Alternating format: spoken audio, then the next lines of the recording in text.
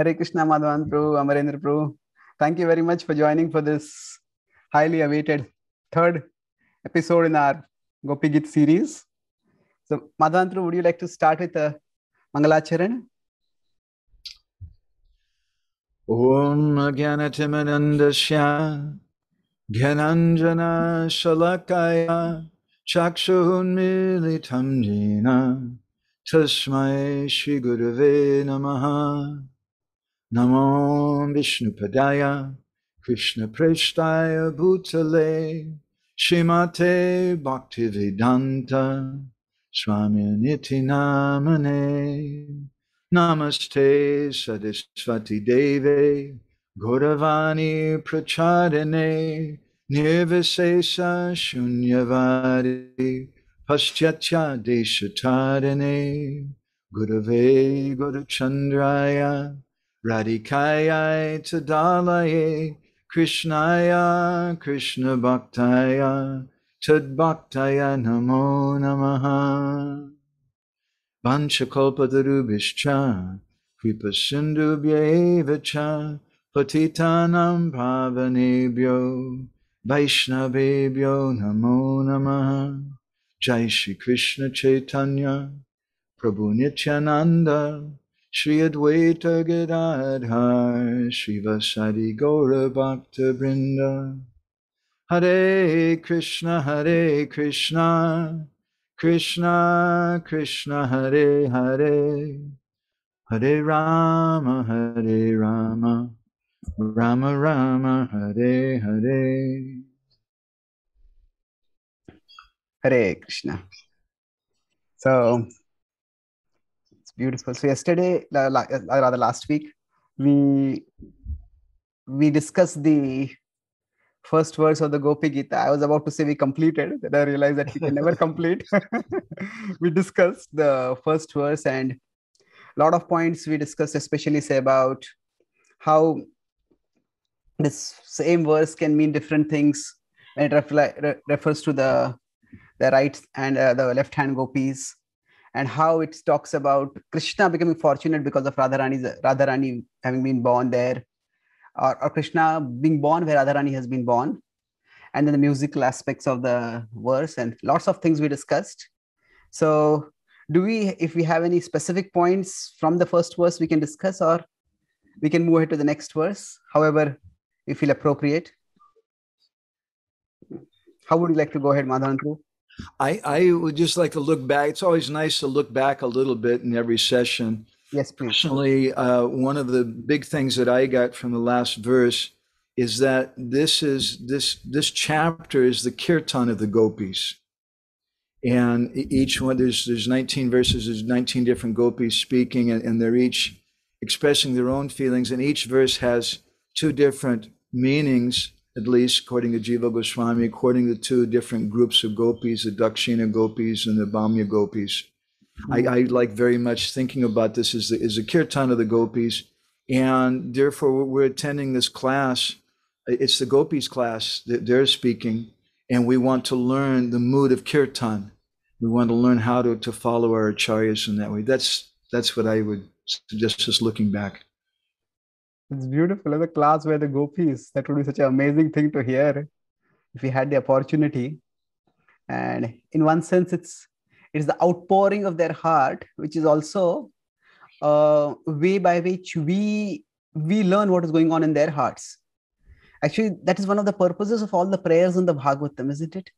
That it reveals, it it expresses their devotion, and by their devotion, it it reveals the glory of their devotion, their character actually. And it also gives us instructions about the nature of the Lord, the nature of the relationship between the Lord and the devotee, and the kind of emotions that we wish to develop. So the, the prayers themselves are, we could say, a philosophical edification in an indirect way. There are some classes you're directly given as an answer to questions, but prayers are also teaching philosophy and devotion in an indirect way. Yes. There's another aspect also that I very much like to meditate on, which we also spoke about in our last session, maybe even two, and that is that these prayers, I, I can't say they're from me. I can recite them mechanically with my my stone-like heart, but I'm doing them for the pleasure of my guru. And he's instructing me to do that. And by me doing this, it pleases him. And then that, that, that his, his guru is pleased that he's engaging his disciples like that. And then his guru is pleased. And in this way, we're pleasing Chaitanya Mahaprabhu. And this is the kirtan of our sampradaya. So this is the Gopi Geet. This is their this is their song. Mm, yes, beautiful. So hopefully, just as Pratap Rudra as reciting Gopi Gita, please Chaitanya Mahaprabhu. So we all can also hope that our discussing this Gopi Gita will please Lord Chaitanya. And just as Pratap Rudra got some mercy, we also can hope to get some mercy. Yes, sir. Okay.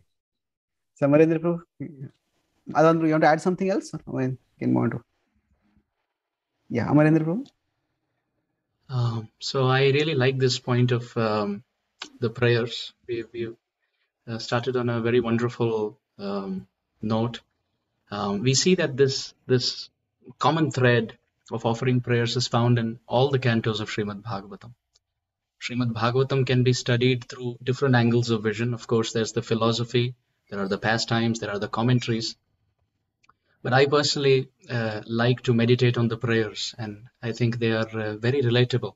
Many of them, as Sripad Madhavananda Prabhu was, say, uh, was mentioning, uh, may not be completely uh, relatable at this point to the to the resonance of the heart state. Uh, but again, it's it's a good lofty target to maybe someday achieve by the mercy of Sri Guru and Gauranga. We find in the first canto, in the eighth chapter, we have the prayers of Queen Kunti. In the first canto, ninth chapter, we have the prayers of Bhishmadev. Uh, in the second canto, we have the Chatushloki, not so much as prayers, but revealing the ultimate reality as the truth. In the third canto, we have the No, prayers of the un- sorry. Chatushloki is also a response, if I am not mistaken, to Brahma's prayers for creative energy. That is In that sense, that's That also- correct. Yeah, please go ahead. Correct. Yeah, beautiful. And and in the third canto, we find the prayers of the child while the unborn baby in the womb of the mother. I believe chapter 31 of the third canto, Hmm. where he's crying for help. Uh, then we find in the fourth canto prayers of Dhruva Maharaj on, on having the audience of the Supreme Lord in the, in the ninth chapter of the fourth canto. Then similarly in the in the sixth canto we find uh, the Chatushloki of the sixth canto, the prayers of the Trasur. In the 11th chapter of the sixth canto, 24, 25, 26, and 27 uh, verses. Amazing prayers. You know, even Beautiful before prayers. that, sorry, before that, in the fifth canto, also, if we see, uh, while even the cosmology is being described, I worked on the cosmology project with some devotees, and almost 35, 30 to 50% of the verses there are prayers. So the cosmological descriptions about the sizes and the distances, they're only a small part. A major part is okay, this planet is this far away, this size dimensions, but the people over there are offering these kind of prayers to this form of the Lord. So, in one sense, it's not a cosmological description as cosmology as a background for a devotional description of how the universe is pervaded with dharma and devotion. So, there are also prayers by the residents of Jambudweep, prayers by the residents of this Plakshadweep, like that. In the fifth canto, also, there are prayers. Yeah, nice prayers. The residents of Jambudweep, those prayers are very, very sweet. Yeah, that's where I think the, the great fortune of being born on earth and many other prayers, significant prayers are there. Yes, that's true. And and we were speaking about the prayer of Hanuman last time to Ramachandra. Again, that comes from the fifth canto Yeah. in the same section. And then we find in the seventh canto we have prayers of Prahlad Maharaj, again in the ninth chapter of the seventh canto. Uh, only then followed by the prayers of Gajendra in the eighth canto after the seventh. Seventh has Prahlad, and then eighth has Gajendra. And then uh, in the tenth canto, we see right from the second chapter, we have the demigods offering prayers to the womb of Mother Devaki when Krishna is entering. And then straight we can find the prayers by Manigriva and Nalakuver in the 10th, 10th chapter of the 10th canto when they're uplifted by Damodar. Uh, followed by uh, the prayers of Brahmaji after Brahma Vimohan Leela in the 14th chapter of the 10th canto. Uh, and then prayers by the Nagapatnis, the wives of uh, Kaliya, uh, I believe in the 16th chapter of the 10th canto text, 33 to 53. Um, and then we have the five songs or the six songs of the Gopis. We have tw- chapter 21, Venu Geet, and chapter um, 29, which is the Pranay Geet, chapter 31, which is the Gopi Geet, chapter 35, which is the Yugal Geet, chapter 39, which is Viraha Geet, and chapter 47, uh, Bhramar Geet. And then before that, we have the prayers of Akrura. so I think uh, this is a very beautiful point that Sripad Madhavananda Prabhu has uh, raised that um, the Gopi Geet is actually the song of the gopis and it's it's offering of the heart. So very very wonderful auspicious beginning to our discussion. Yeah. Can you just repeat the five Gopi Geet you mentioned? And Venu Geet is when the gopis hear the flute of Krishna, when Krishna is out cowherding. That's that, that, that that's one thing. Then what is the Pranaya Geet you mentioned? That is yeah. So chapter 21, Venu Geet um, is um, after Purvarag. So yes. Purvarag is their first meeting with Krishna um, in, in a very sweet conjugal romantic mood. Uh, and that is described by the acharyas around the time of Kaliya's pastime. That's when Krishna dancing on the Kaliya was a stimulant and uddipan to the heart of the gopis. Mm. And very quickly after that, when there is separation and Krishna goes into the forest, uh, the gopis feel the pangs of separation. So Venugit is an outburst of the expression of Purvarag, the, the first meeting with Krishna. And then we find uh, that ultimately explodes as a volcano of love in the heart with a desire to sing and dance with him. So they leave everything and come in chapter 29. And that's when Krishna tells them to go back. Swagatam tu Mahabhaga. Hmm? Or gopis go back. And as a rebuttal to that, the gopis sing the Pranay So uh, it's very beautiful. Krishna speaks uh, 10 verses requesting the gopis to return, and the gopis give back in 11 verses. okay. Formidable reasons why they should stay, and that's the Pranay Geet. And then, of course, we have uh, then um, they're con- trying to convince Krishna that they would be with Krishna. And then, when Krishna leaves their assembly again, we find the Gopi Geet in chapter 31. And then, now, because of being with Krishna so closely and dancing and singing with him, their affection and their uh, attachment to Krishna has increased further. So then, when Krishna goes further into the forest, the separation is even more. So that is chapter 35. So chapter 21 is, is Purvarag. Chapter 29 is to be with Krishna, Pranay Geet. Chapter 31 is when Krishna leaves during the Rasa Leela. Hmm. And chapter 35, after the Rasa dance, their attachment with Krishna increases, and then Krishna goes into the forest uh, that breaks their heart. And it is the Yugal Geet, as Sripad Madhavananda Prabhu was explaining last time. 24 verses mapping to the 24 hours of the day. and then chapter 39 is the Viraha Geet. Um, Aho vidhata tavana kvachedaya. Uh, not so so much spoken by the Gaudiya Acharyas because that's when the gopis are crying and weeping, beseeching and begging Akrura uh, not to take Krishna. That's the separation when Krishna is leaving.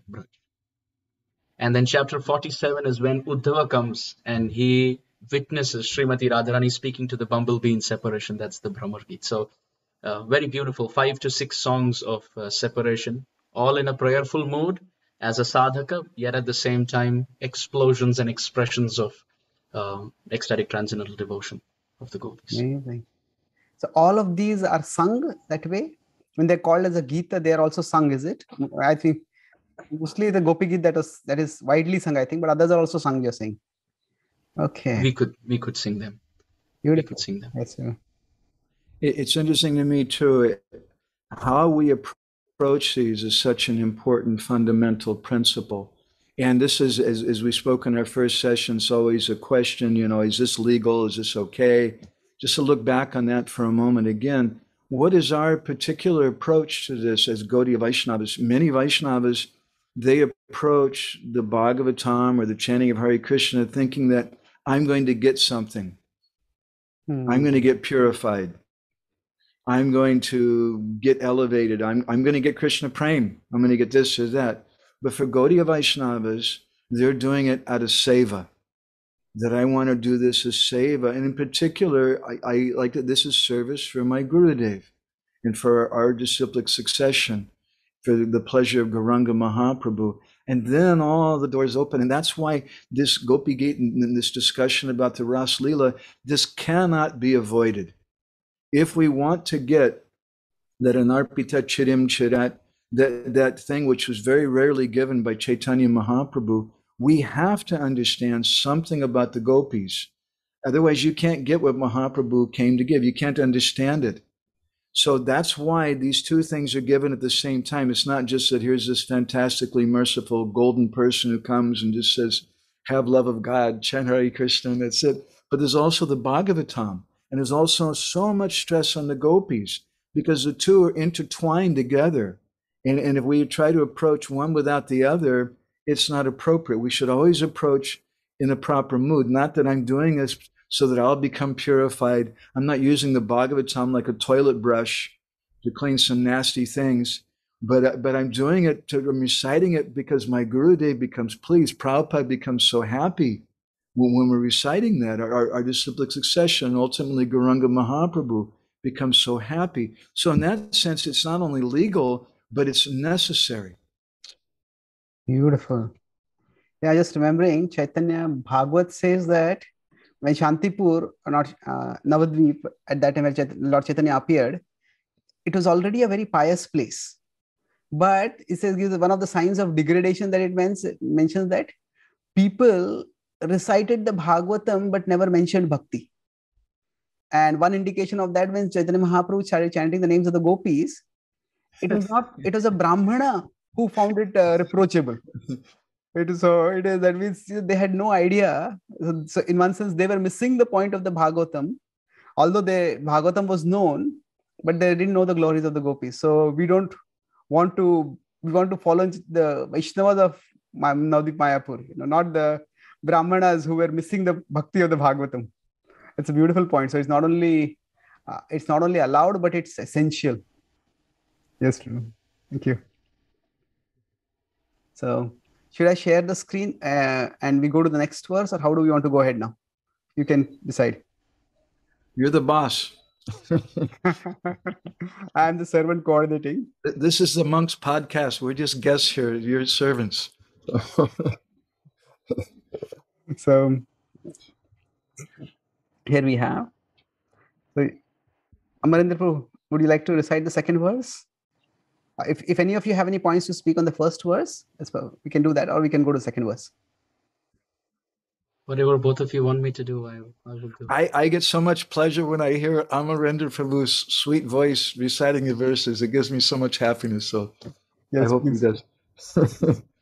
As uh, Sripad Madhavananda Prabhu was saying, that all of our spiritual practice is only for the pleasure of Sri Guru.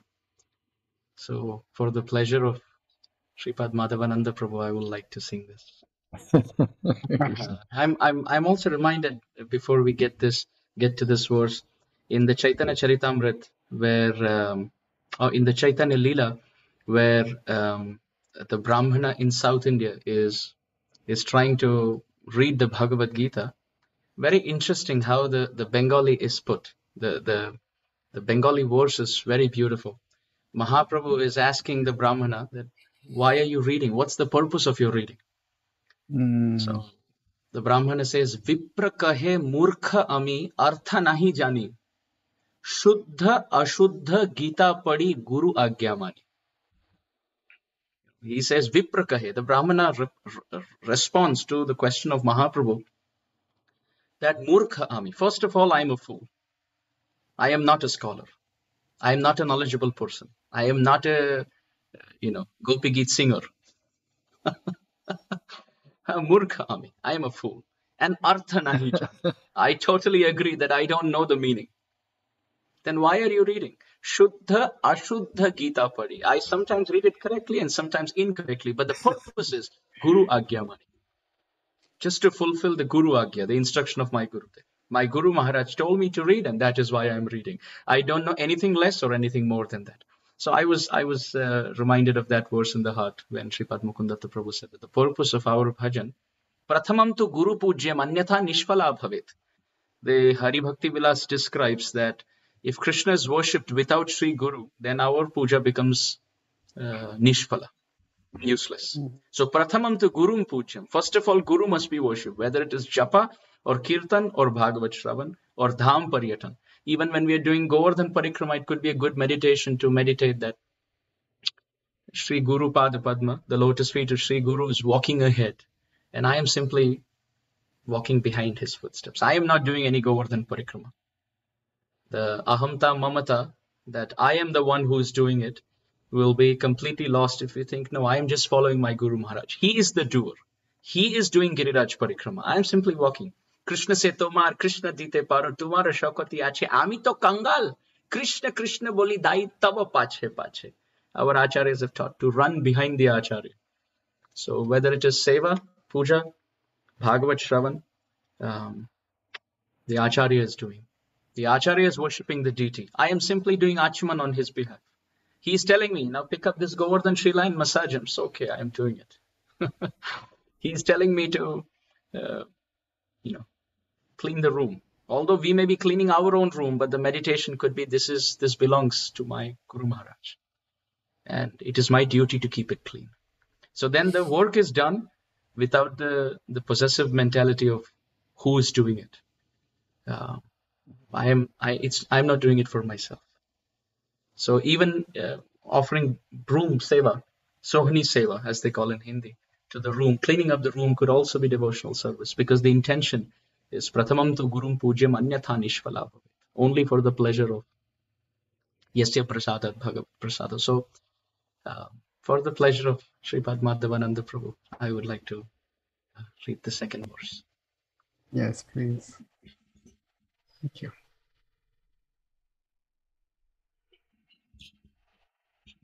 Gopi Uchuhu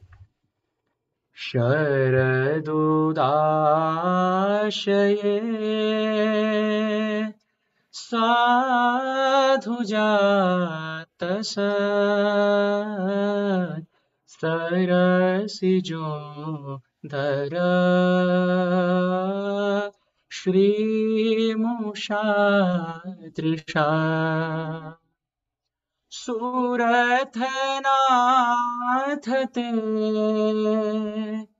अशुल्क दासिका वरण घन तो नेह किं वदः Beautiful. So Sharadudashaye Sadhu Jata Sat. So basically, this verse, you want to paraphrase the translation? Either of you? Okay. So I'll basically the previous verse said, Krishna, please come back. Our lives are dedicated to you. So as the gopis are meditating, uh, they are disc- they're thinking of Krishna and they're meditating his beauty, meditating on his beauty.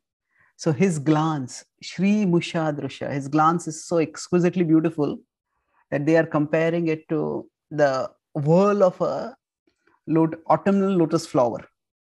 And then that's the first is the description of the beauty in these first two lines. And then second is Suratanathate.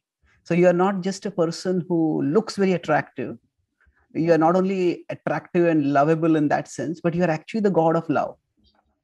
You are the God of love. So you are very lovable. You are the God of love. And we have approached you out of love. Ashulka Dasika. That we have not come to you out of desiring any payment from you.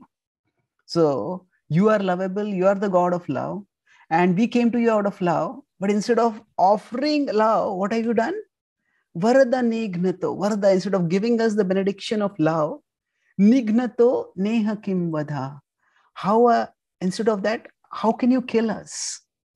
So it's a rhetorical question at the end. Kim vadha. How can you kill us? So what that killing means, they, they will talk about how in the next verse, you saved us from so many demons, but how can you kill us now? So the killing is, uh, of course, metaphorical that it is you're killing us by separation. That separation from you is so painful that it is as bad as death. It struck me over here that this theme of death, Madhavan you had mentioned in our first session how there is suicide in the Bhagavad Gita, that Arjuna wants to uh, stay unarmed and he will be killed. Actually, there is another reference to death also in the Gita that Sambhavit Chakirtir Maranaditrichyate. For one who has been honored, dishonor is worse than death. So the idea is that death is death is like a we can say uh, a metaphor used for immense unbearable pain, or it's a symbol, not a metaphor. It's a symbol for unbearable pain. So for a conditioned soul, losing something very dear, so especially for a respectable person, honorable person, their honor is very dear. And losing that is like losing their life or worse than losing their life. So what may apply for a for a person who is attached to their honor? So we live and we have something that we live for.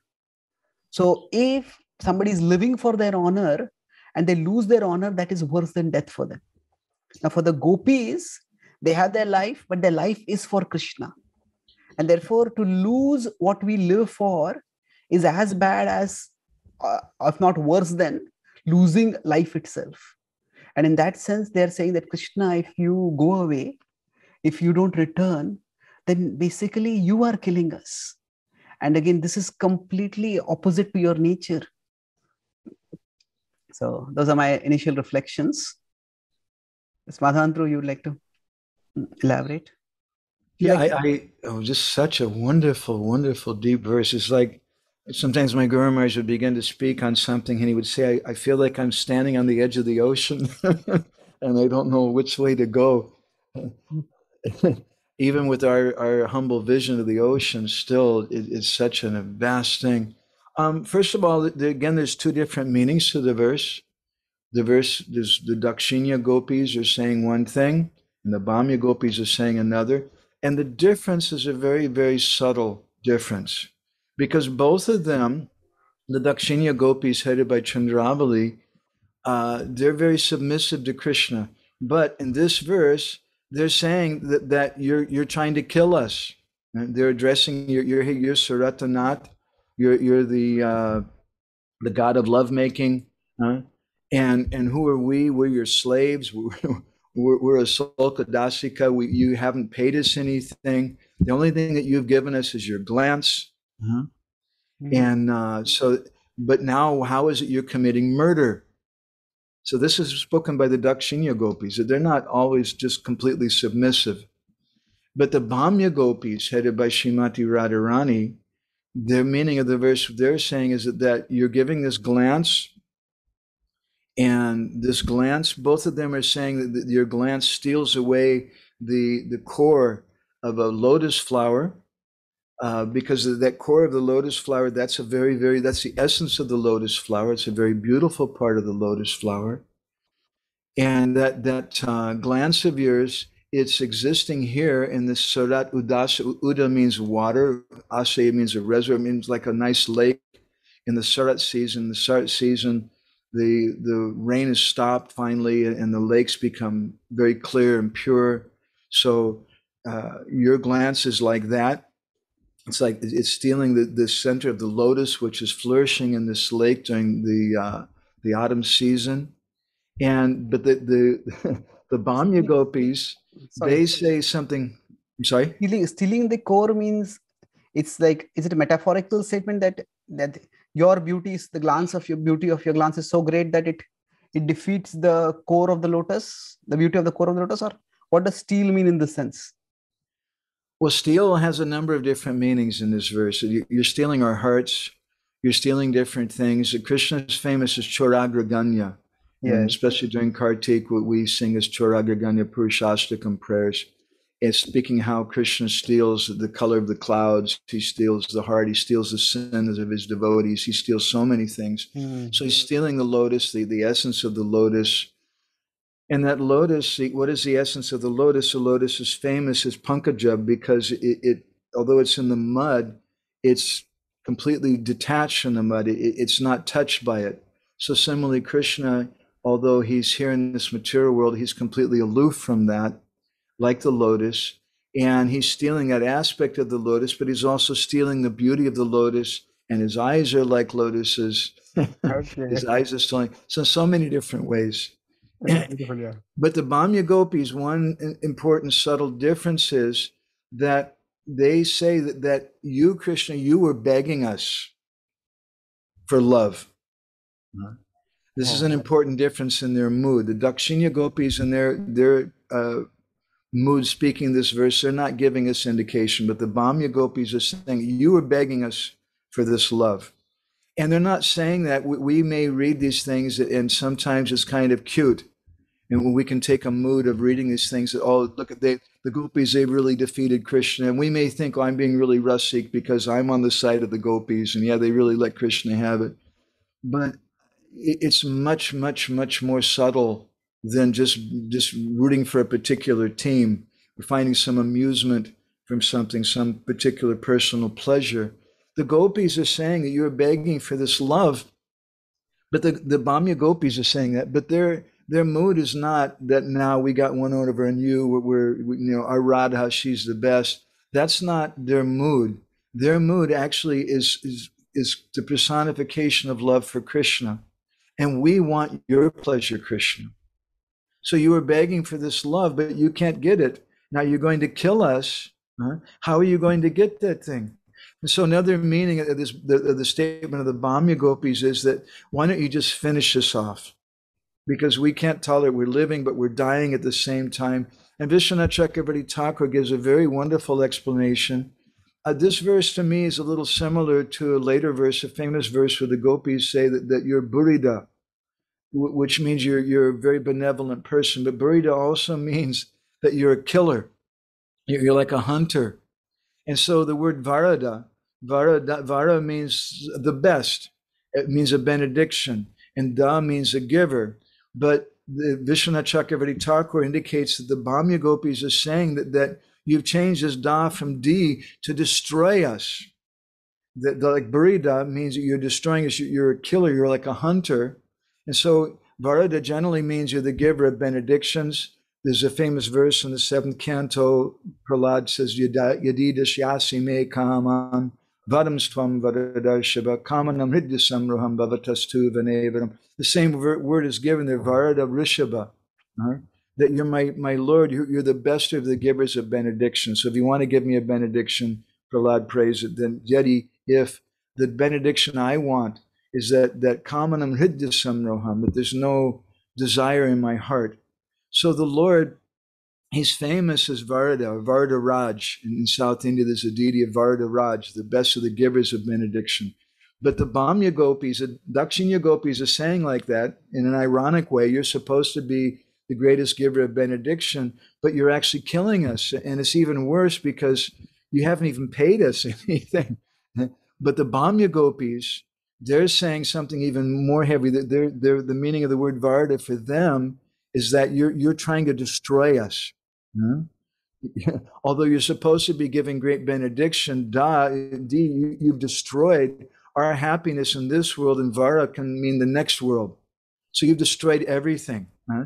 And they're saying that, that if in fact we were your property, then there'd be no fault. You can throw us away like garbage. You can burn our possessions. That would be, but you didn't even give us any payment. Uh-huh. We're, we're a, Ashulka Dasika. You haven't even paid us anything, nor have you accepted us in marriage. We're just free maid servants. And now we become your slaves out of your own free will, out of our own free will. So this is so bad. And, and although we've done all this, still you're the one who's going to suffer because you're begging this for this love and, and you're not getting it. So I'm sorry for speaking so many things that both of you have a lot to say. no, no, it's outpouring of your heart. Let me just try to uh, re-articulate if I understood what you're saying is that what the Vamya Gopis are saying is it is you who called us because you wanted our love. uh, but but then now you have gone away from us and uh, you are we are we are not your property. You're not paying us. And when you go away from us you you are going to kill us by this. So better finish us off but by this you will be unhappy. Is that and this is a looking back again in our last session, uh, Amarendra Prabhu spoke about Radharani leaving the Ras Leela. And some of our acharyas have explained that, that Radharani's leaving the Ras Leela was because she was unhappy for Krishna's sake.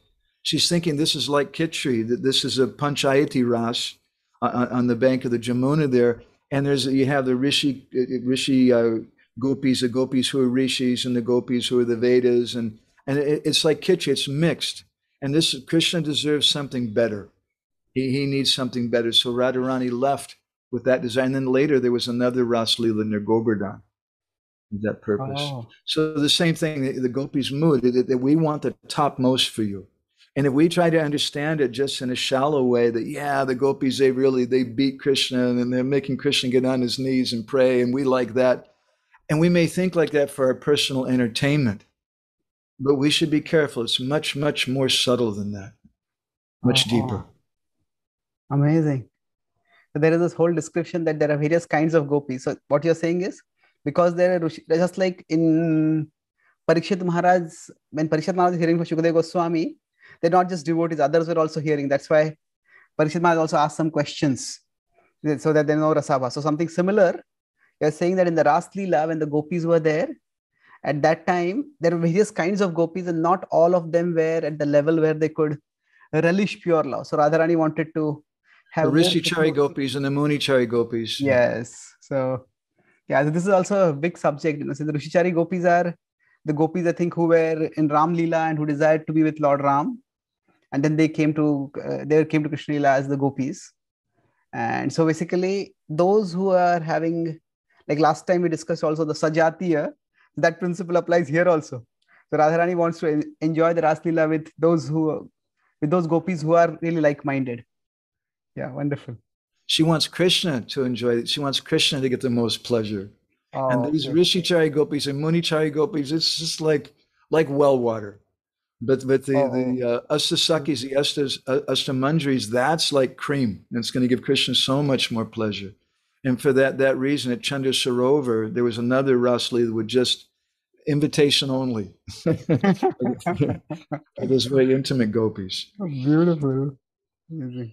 And that has a lot to do with Jagannath Puri also, but that's a whole nother discussion.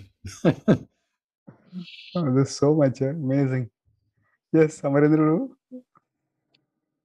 Uh, the Bhagavatam describes darshanam no didrikshunam dehi bhagavatarchitam रूपम प्रियतनम स्वानाम सर्वेंद्रिय गुणांजन that the form of the Lord is very pleasing very very pleasing दर्शनम नो दिदृक्षूणाम O Lord please give us darshan why we want darshan रूपम प्रियतनम प्रियतमम स्वानाम सर्व इंद्रिय गुणांजन my Lord just by looking at your form A Shyam Sundar it satisfies all our senses So the form of the Lord is actually very pleasing.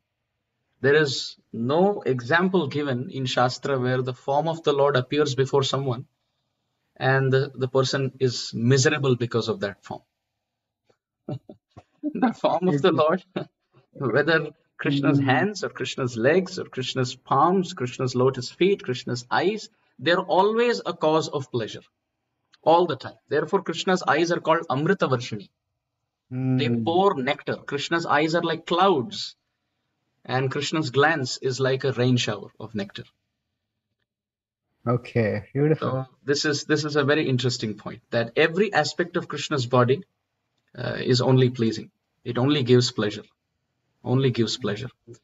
And to take this further, Sripad Bilva Mangala Thakur in his Krishna Karnamrit, he says, Madhuram Madhuram Vapurasya Vibho, Madhuram Madhuram Vadanam Madhuram, Madhu Gandhi Mridhu Smitam Etadaho, Madhuram Madhuram Madhuram Madhuram. And this has been quoted in the Chaitanya Charitamrita by Srila Prabhupada that the form of Krishna is certainly very sweet. And our Sripad uh, Vallabhacharya ji has written a whole Madhurashtakam Mm. describing how everything about Krishna is sweet. And he's not able to uh, stop himself just by saying the lips are sweet, uh, the face is sweet, the eyes are sweet, or the smile is sweet. He goes on. He goes on. And at the end of every verse, he says, Madhuradhipati lakhilam madhuram. Oh, oh, oh, everything about him is sweet. And actually, if you see logically speaking, if you say everything is sweet, then it doesn't need elaboration. But this is a outburst of his devotion that even after saying everything about him is sweet, he continues to describe the individual details and still says everything is sweet and still describes the details. And he goes on eight times like that. Mm. So Sripad Bilva Mangal Thakur says everything about Krishna is sweet. Madhuram Madhuram Vapurasya Vibho. The Vapu, the form of Krishna, is certainly very sweet. Sorry, just But you if you don't mind. So I think you are correlating with this the Sri Musha Drusha. I'm just trying to connect this. correct. Okay. Yeah. I, I was I was trying to say that everything about Krishna is so sweet. Okay. Um, and in the body of sweetness, Sripad Bilvamangal Thakur says the face is sweeter. Hmm. And on that face, the smile is the sweetest. And the eyes are the sweetest. So the, uh, the, the body is sweet, the face is sweeter, and the eyes or the smile are the sweetest. So the gopis here are coming to the description of those eyes by saying the eyes are so beautiful, they're so captivating that we don't even feel like looking at the central portion, the wall of the night blooming lotus found in the Jamuna, which is actually a treat. People go to hill stations, they go to uh, scenic places, they want to take pictures, they want to see lotuses, and they want, if given a chance, they would like to see the wall of the lotus, and especially want to speak of a night blooming lotus flower in the Yamuna, and not just one, a whole family of them. But the gopis are saying that looking at your eyes puts to shame the beauty of the world, the inner part of the night blooming lotus found in the ponds of Vrindavan, whether it's the pukur, the small ones like Gwal pukur, Pili pukur, the small pukurs, they are the small ponds in Vrindavan. And then we have the little bigger ones, which are called the kund, like Radha Kund, Sham Kund, Krishna Kund, Naval Kund, Apsara Kund, Indra Kund. And little bigger than that are the sarovars, like Man Sarovar, Prem Sarovar, Pavan Sarovar, Kusum Sarovar. And then even bigger than that, or wider than that, is the Nadi, the river, which is Yamuna. So Vrindavan is filled with water bodies. Hmm? Ittam Sharat Swachha Jalam Padmakara Sugandhina. That's how even the Venugit begins. Talking about Shukdev Goswami begins with the, the water and the air description of Vrindavan. The, the air quality index is being described of the place. So the water is certainly very beautiful. There are so many ponds in Vrindavan, and there are so many beautiful lotuses, night blooming, blossoming Kumudini, Kairava lotuses, the blue lotus flowers, and they're and, and they're very beautiful. Here the, the verse describes Sharad Udashaye, the Saptami Vibhakti, which means on or in the water ponds. So the time and the place have been described. The time is the Sharad season, and the place is the water.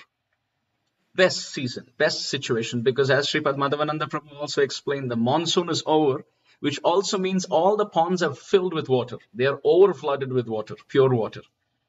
And there Sadhu Jata. Sadhu Jata means well grown. The lotus flowers have been well cultivated naturally by Brinda Devi. And Sat, not just well cultivated, because sometimes we see parents giving good parenting, but the kids don't grow well. so here, Brinda Devi, as the parent, has cultivated the children in the form of the lotus. So the lotus is certainly uh, well cultivated with good parenting, but the lotus is also reciprocated with sat. Sat means beauty. So each petal of the lotus is very beautiful. The color is exquisite. It's eminent.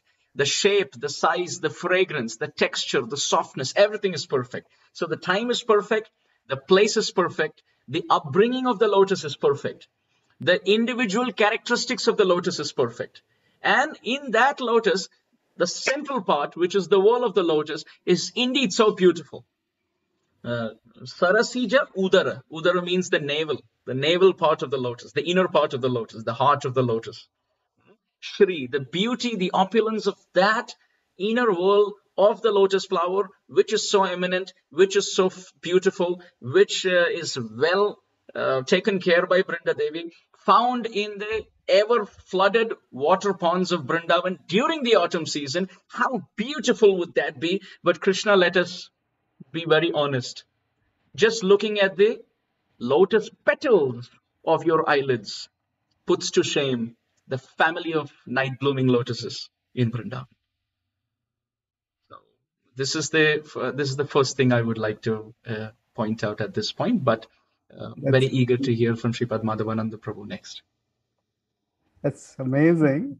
You know, there's so much description of the lotus. I used to wonder in the whole Gopi Geet in this particular verse, it's almost half a verse is described is used to describe the lotus itself so the way you explained it is amazing so all the description of the beauty of the lotus uh, all the factors basically the time the place the cultivation and the product so all of it comes together one of my friends is a very avid gardener and he enters his flowers into gardening competitions so it's uh, although he may cultivate the whole garden equally well, but it's not that all flowers come out equally well. So the best flowers are put in the gardening contest. So you can all those four factors come together over here. Sadhu Jata Sat. And then in that, the most beautiful part. It's amazing. So Shri Mushadrusha. What does this this three compound words mean? Would you like to elaborate? Shri Mushadrusha. Drusha Drusha is basically not eyes, it's glance, isn't it? Drushti. So yes. Shri Musha actually the yeah. Yeah. Please go ahead. Shri, yeah, Shri Musha means that the, your glance steals the beauty. Musha is, I think, steal, isn't it? Steals yes. the beauty, like Mushtika is the thief. That's what I think Madhavendra was also referring to earlier about stealing. So the, your glance steals the beauty of all, all this, isn't it? That's what is referred to here. Yes, yes, Prabhuji. Actually, uh, Shri means beauty and Musha means to take away. And Drisha uh, means by the glance. So it's basically Drish is the root word and Drisha uh, is the Tritiya Vibhakti, which means by. Hmm. Like Manasa, Vachasa, Karmana, by words, by actions, by the mind. So like that Drisha, by the glance. Okay. The opulence is, is stolen. So it's very interesting. The gopis are saying that generally a thief has to get to the place to thief to steal. but you're such a great thief, you can just point your target and steal it mm. without even actually going there. And and look at how protective the lotus is from uh, the, the the the beauty, which means it's hiding the world by the petals, and the petals are hiding themselves by other lotuses around and all of this in water. So it's an inaccessible fort with uh, security around. so it's in the middle of the forest, so it's inaccessible. And that too, it's not a field lotus, it's a water lotus surrounded by water. So if you don't know to swim, you can't get in. So the water is almost like a security guard. It's like the series of chokidars protecting the family, and the family are lotuses. So they're all standing next to each other. You know, I'm there for you, I'm there for you. And then each of those lotuses also protecting uh, the wall, which is the treasure, by its own petals. And still, Krishna, even without going close to the water, entering the water, or touching the flower, without even seeing the wall, can steal the, uh, the, the beauty, the sweetness of the wall of the lotus in the family of lotus in the water pond during Sharad season in the middle of the forest. How much more are we vulnerable when we come and stand in front of you. You can steal from a distance, and they are in the middle of the forest. They are, you have to go to them. They don't come to you. And still you can go and steal. And we leave our family. Look at those lotuses. They all have, they are sitting with their family. And we gopis have left our family behind. We are individual lotus flowers who have come running, leaving our other lotus flowers behind and the whirl of the lotus represents our heart. So if you can steal the whirl of the lotus without even going close, without even seeing it, you can steal. So we are completely lost. We have been stolen. We have been, we are vulnerable because individual lotuses in the form of gopis, we have come leaving our family behind. And that too, to find you, who is a thief. And from a distance, if you can steal so much, how much more when we come in front of you? You have stolen the whirl, which is the heart, of the lotus, which is the gopi, in the Sharad season, which is the nighttime, uh, in the body of water, which is our body, because we know the body is made out of 75 80% of water anyway. So the transcendental form of the gopis is like a water pond of rasa during the Sharad season. So they're making a direct comparison. Look at us, Krishna. During the Sharad season, our body, Udashayed, which is actually a pond of rasa, and all of us gopis have been well cultivated by our parents. We are not uh, characterless women. We are sadhu jata. And sat, we are also very beautiful. And we are individual lotuses. And the wall of the lotus is our heart. And you have stolen it with your glance. Amazing. Your explanation has stolen our heart now.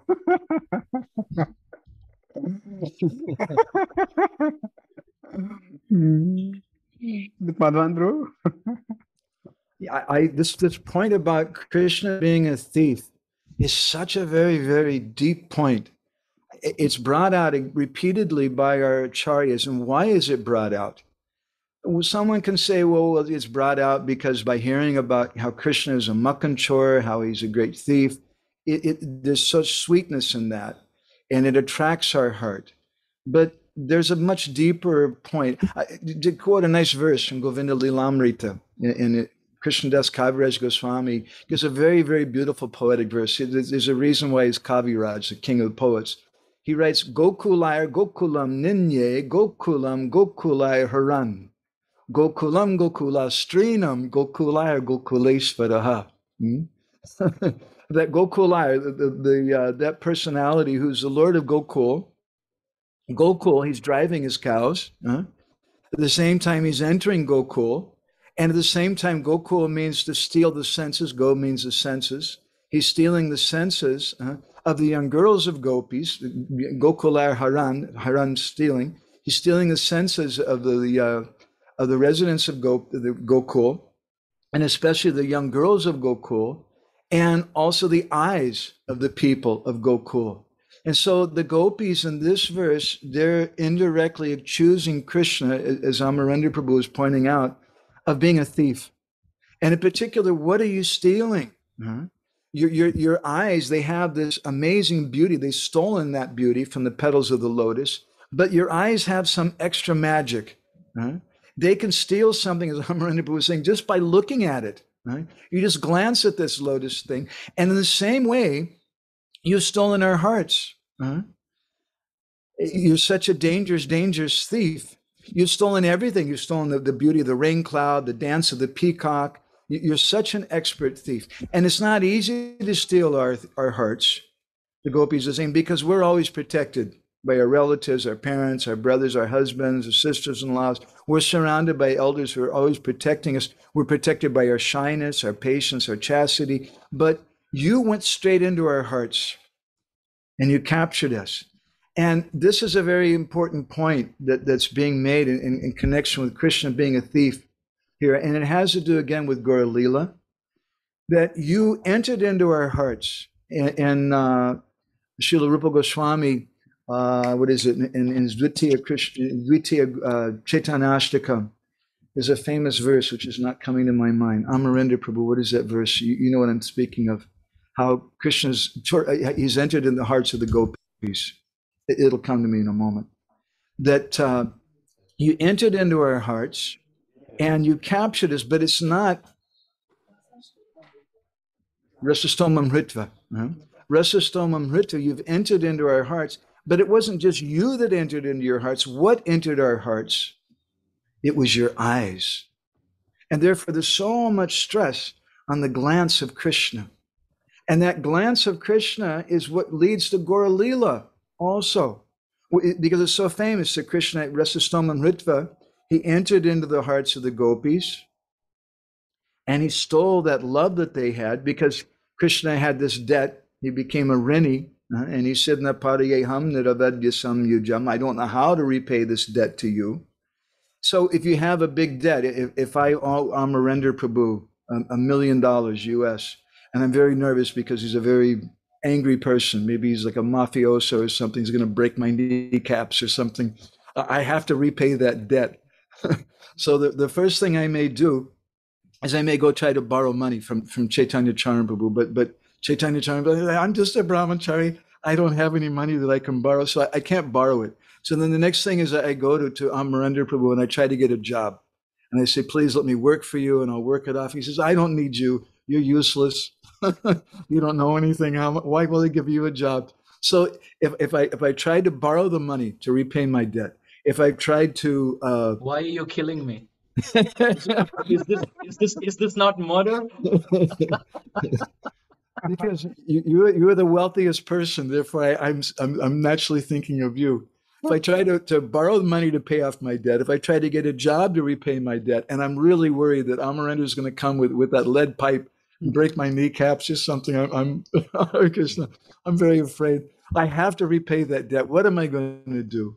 Krishna says eh, eh, that I, I always repay my debt. This is his point. I always, so I have to repay that. The only thing left is to become a thief.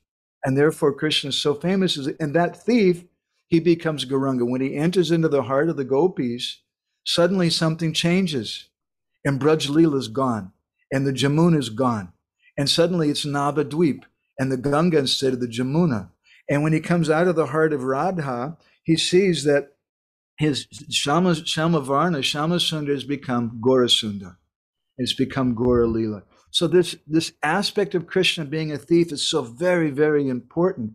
And how is he stealing? Here the gopis are saying, you're doing it with your eyes. It's your eyes which have entered into our hearts and stolen this bhav. so this very much has to do with Gaura. That's my mad thoughts. I don't know. I'm sorry, I'm You're such a wealthy person.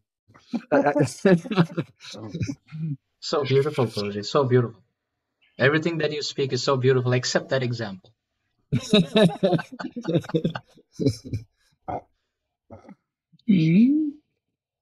so this is amazing. So what you say, if I just par- paraphrase what you said, Madhandru, is that um, that uh, when Lord, when Krishna says Napareham, I cannot repay your debt. So he has no ways. So the way he repays is that he thinks actually I have to go to the gopis only, get some love from them, and then I can offer it back to them. So that's when he enters into their hearts. And when he enters into their hearts, that's when he gets transformed. So, in one sense, although normally we don't think of Lord Chaitanya as a thief, it's Krishna who is called as a thief. But you can say Lord Chaitanya is a manifestation of Krishna's thievery. yeah, it's amazing. Yeah. And that's why this, this aspect of the thief is dwelled on so much by the Gaudiya Vaishnavas. It's such an important thing. As I just mentioned, this beautiful verse from Kaviraj Goswami. There's another wonderful verse. I, let me share with you from Krishna Bhavanamrita, Vishnu Chakrabarti Thakur describes in chapter 7. Um, he says, Mavichedo rujo nubhavakam maho cheta priyanam matas tanitva nija sanga eva vipinam yamiti yate haro ko nasyad visayo nya ityananuyus tesham drisha vishmatu swasva varasmabir eva samskriti vasan muktapamas tevishan. Krishna was thinking, this, is a description when Krishna's going into the forest and he's going into the forest, and Mother Yashoda is saying, Krishna, I'll go with you. Because I, I, I, who's going to feed you? So I'll go with you. And the boys are like rolling their eyes and looking at Krishna, please don't let your mother come with us. It's going to spoil everything, right? The boys want to be with Krishna alone. So there's this problem. Not, in, not only does Mother Yashoda want to come, but all the bridge Brijbasis want to come. Mm. And, and, they have this great viched, this viched, that they're feeling so very, very sad when Krishna's leaving. So Krishna thinks, Aho Cheta Priyana Matas, let me take their minds along with me. Uh-huh. But at that time, when Krishna's taking their minds with him, the Brijbasi's eyes, which are also have some personality, the eyes are thinking, what other objects do we have other than Krishna?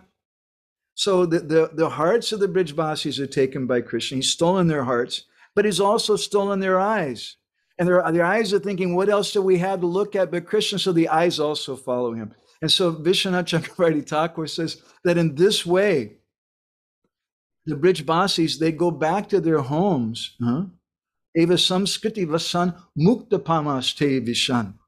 They're, they're just like liberated souls huh? who are, are maintaining their bodies only by some external custom because it's because Krishna has stolen everything from them. So repeatedly, repeatedly, repeatedly, our acharyas are stressed in so, so many literatures how Krishna's a thief. And we can see this is the Bhagavatam mentions Anvaya Vyati Reka Byam Yatsyat Sarvata Sarvada, that there's two ways to approach the Bhagavatam. There's two aspects that the Bhagavatam is giving us directly and indirectly. So we can understand the writings of our Goswamis in a direct way, but there's an indirect mood too. And one thing I, I think is very, that I like to look at when I read the, the writings of our Goswamis, I try to look for Chaitanya Mahaprabhu because they're, they're scarred. It, you meet someone who was a prisoner of war in the Vietnam War and, and they were being tortured by the Vietnamese or something. They came out just skin and bones. They'll never be able to forget what they went through for the rest of their life. So, in a similar way, how is it possible that Rupa Goswami, the Sanatana Goswami, the Krishnadas Kaviraj Goswami, these other great devotees of Chaitanya Mahaprabhu who, who've seen Mahaprabhu or, or, or heard about him directly from Raghunath Das Goswami and other devotees, how could they ever forget about that? It, it must have made such a deep impression on their heart. But so many times they're not directly speaking about Gauranga Mahaprabhu.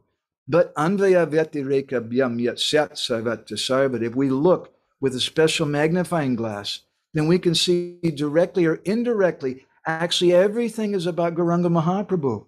It, it's all their writings. Krishnadas Kaviraj Goswami is given Govinda Lilamrita, and we think, oh, oh my God, this is something very erotic and very, very, but he's done it to please Gauranga Mahaprabhu directly and indirectly. He's given it to help us understand the mood of Gauranga Mahaprabhu.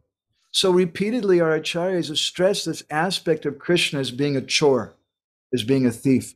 For these reasons, I'm, I'm sorry, I'm talking so much. I get a little passionate about this. Please forgive me. Become transcendently passionate. Mm, beautiful. Yeah, so so Chauragaranyashtakam is not just like a one-off uh, poetic composition. It's actually representing a very, very key feature of our theology, and how God is the thief. That's amazing.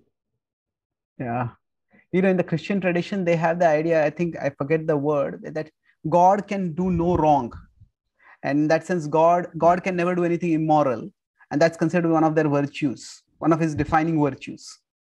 And that is definitely true. But at one level you know we have immoral we have moral and then we have transmoral we can say transcendental morality. So krishna's stealing is completely transcendental. Yes true. So this is musha he's stealing. So we all can pray that krishna steals our hearts also one day. Thank you madhavendra Amarendra, you want to steal our hearts further uh, actually krishnadas kaviraj goswami uh, as Sripad Madhavananda Prabhu was explaining, he describes Krishna's eyes very beautifully. He says, Atyayate suvipule masrane sushone susnigdha pina ghana chanchala pakshmaramye तारुण्यसार मद घूर्णन मंतरे च नेत्रे हरे मम Ridhi spuratam sadate. Srila Krishnadas Kaviraj Goswami has given the uh, descriptions, the descriptive adjectives to describe Krishna's eyes. He says, Atyayate suvipule. They are broad. Krishna's eyes are broad and they are wide. They go from the end almost to the ear. So they are vipule. They are very long. Yet at the same time, atyayate. They are very wide. And mastrine sushone. They have a reddish tinge to their Krishna's eyes is reddish. And at the same time, um, it is moist moist with affection, moist with compassion, moist with emotions. And susnigdha pina ghana chanchala pakshmaramye. He says Krishna has big eyelids, blackish eyelids, um, um, bla- blackish eyeballs, and very thick, sweet, attractive eyelids with well-shaped eyelashes. and to add more fun, he says these eyes are filled tarunya sara. They are filled with youth and madha ghurnita manthareja, they're always intoxicated. Therefore, like a kanjan pakshi, which Rupa Goswami also quotes in the Stavamala, Krishna's eyes, Yamalarjuna Banjita Ashrita Khanjita. He says Krishna's eyes are like the kanjan pakshi, very restless, always moving left, right, left to right, left to right, because Krishna doesn't see straight. He's always looking the edge of his sidelong glance.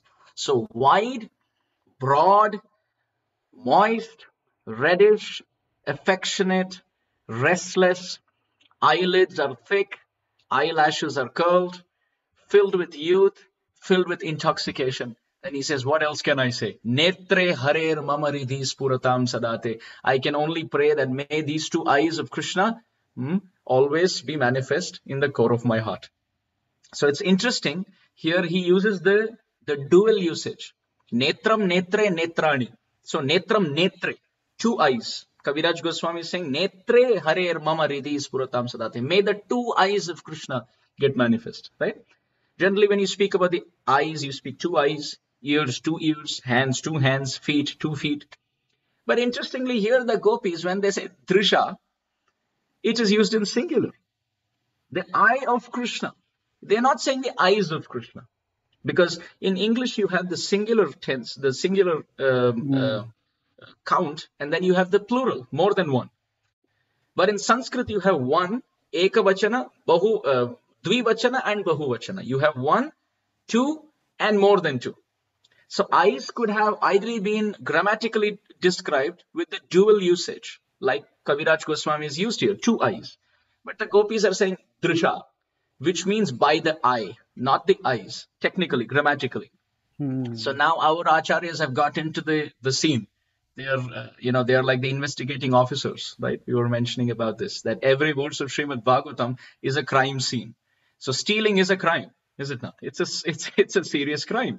So every scene of the Bhagavatam uh, we see is a crime scene. So what the acharyas do is they first of all seal the, the crime scene. The investigation officers, the acharyas go inside and they try to investigate every strand of hair, which means every syllable of the verse. And our acharyas have gotten into the scene to say, why are the gopis using the singular case?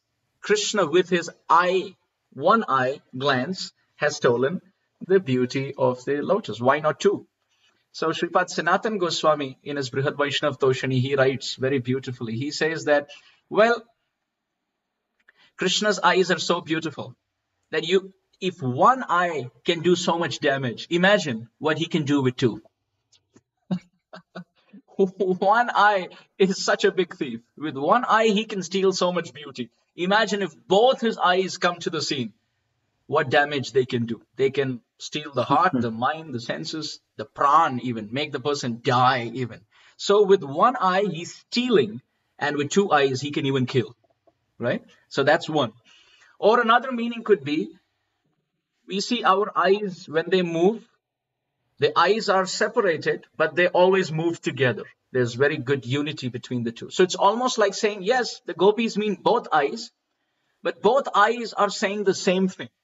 They're asking for the gopis' affection. So it's just one thing which is being conveyed by both those eyes. So you don't have to use the dual case.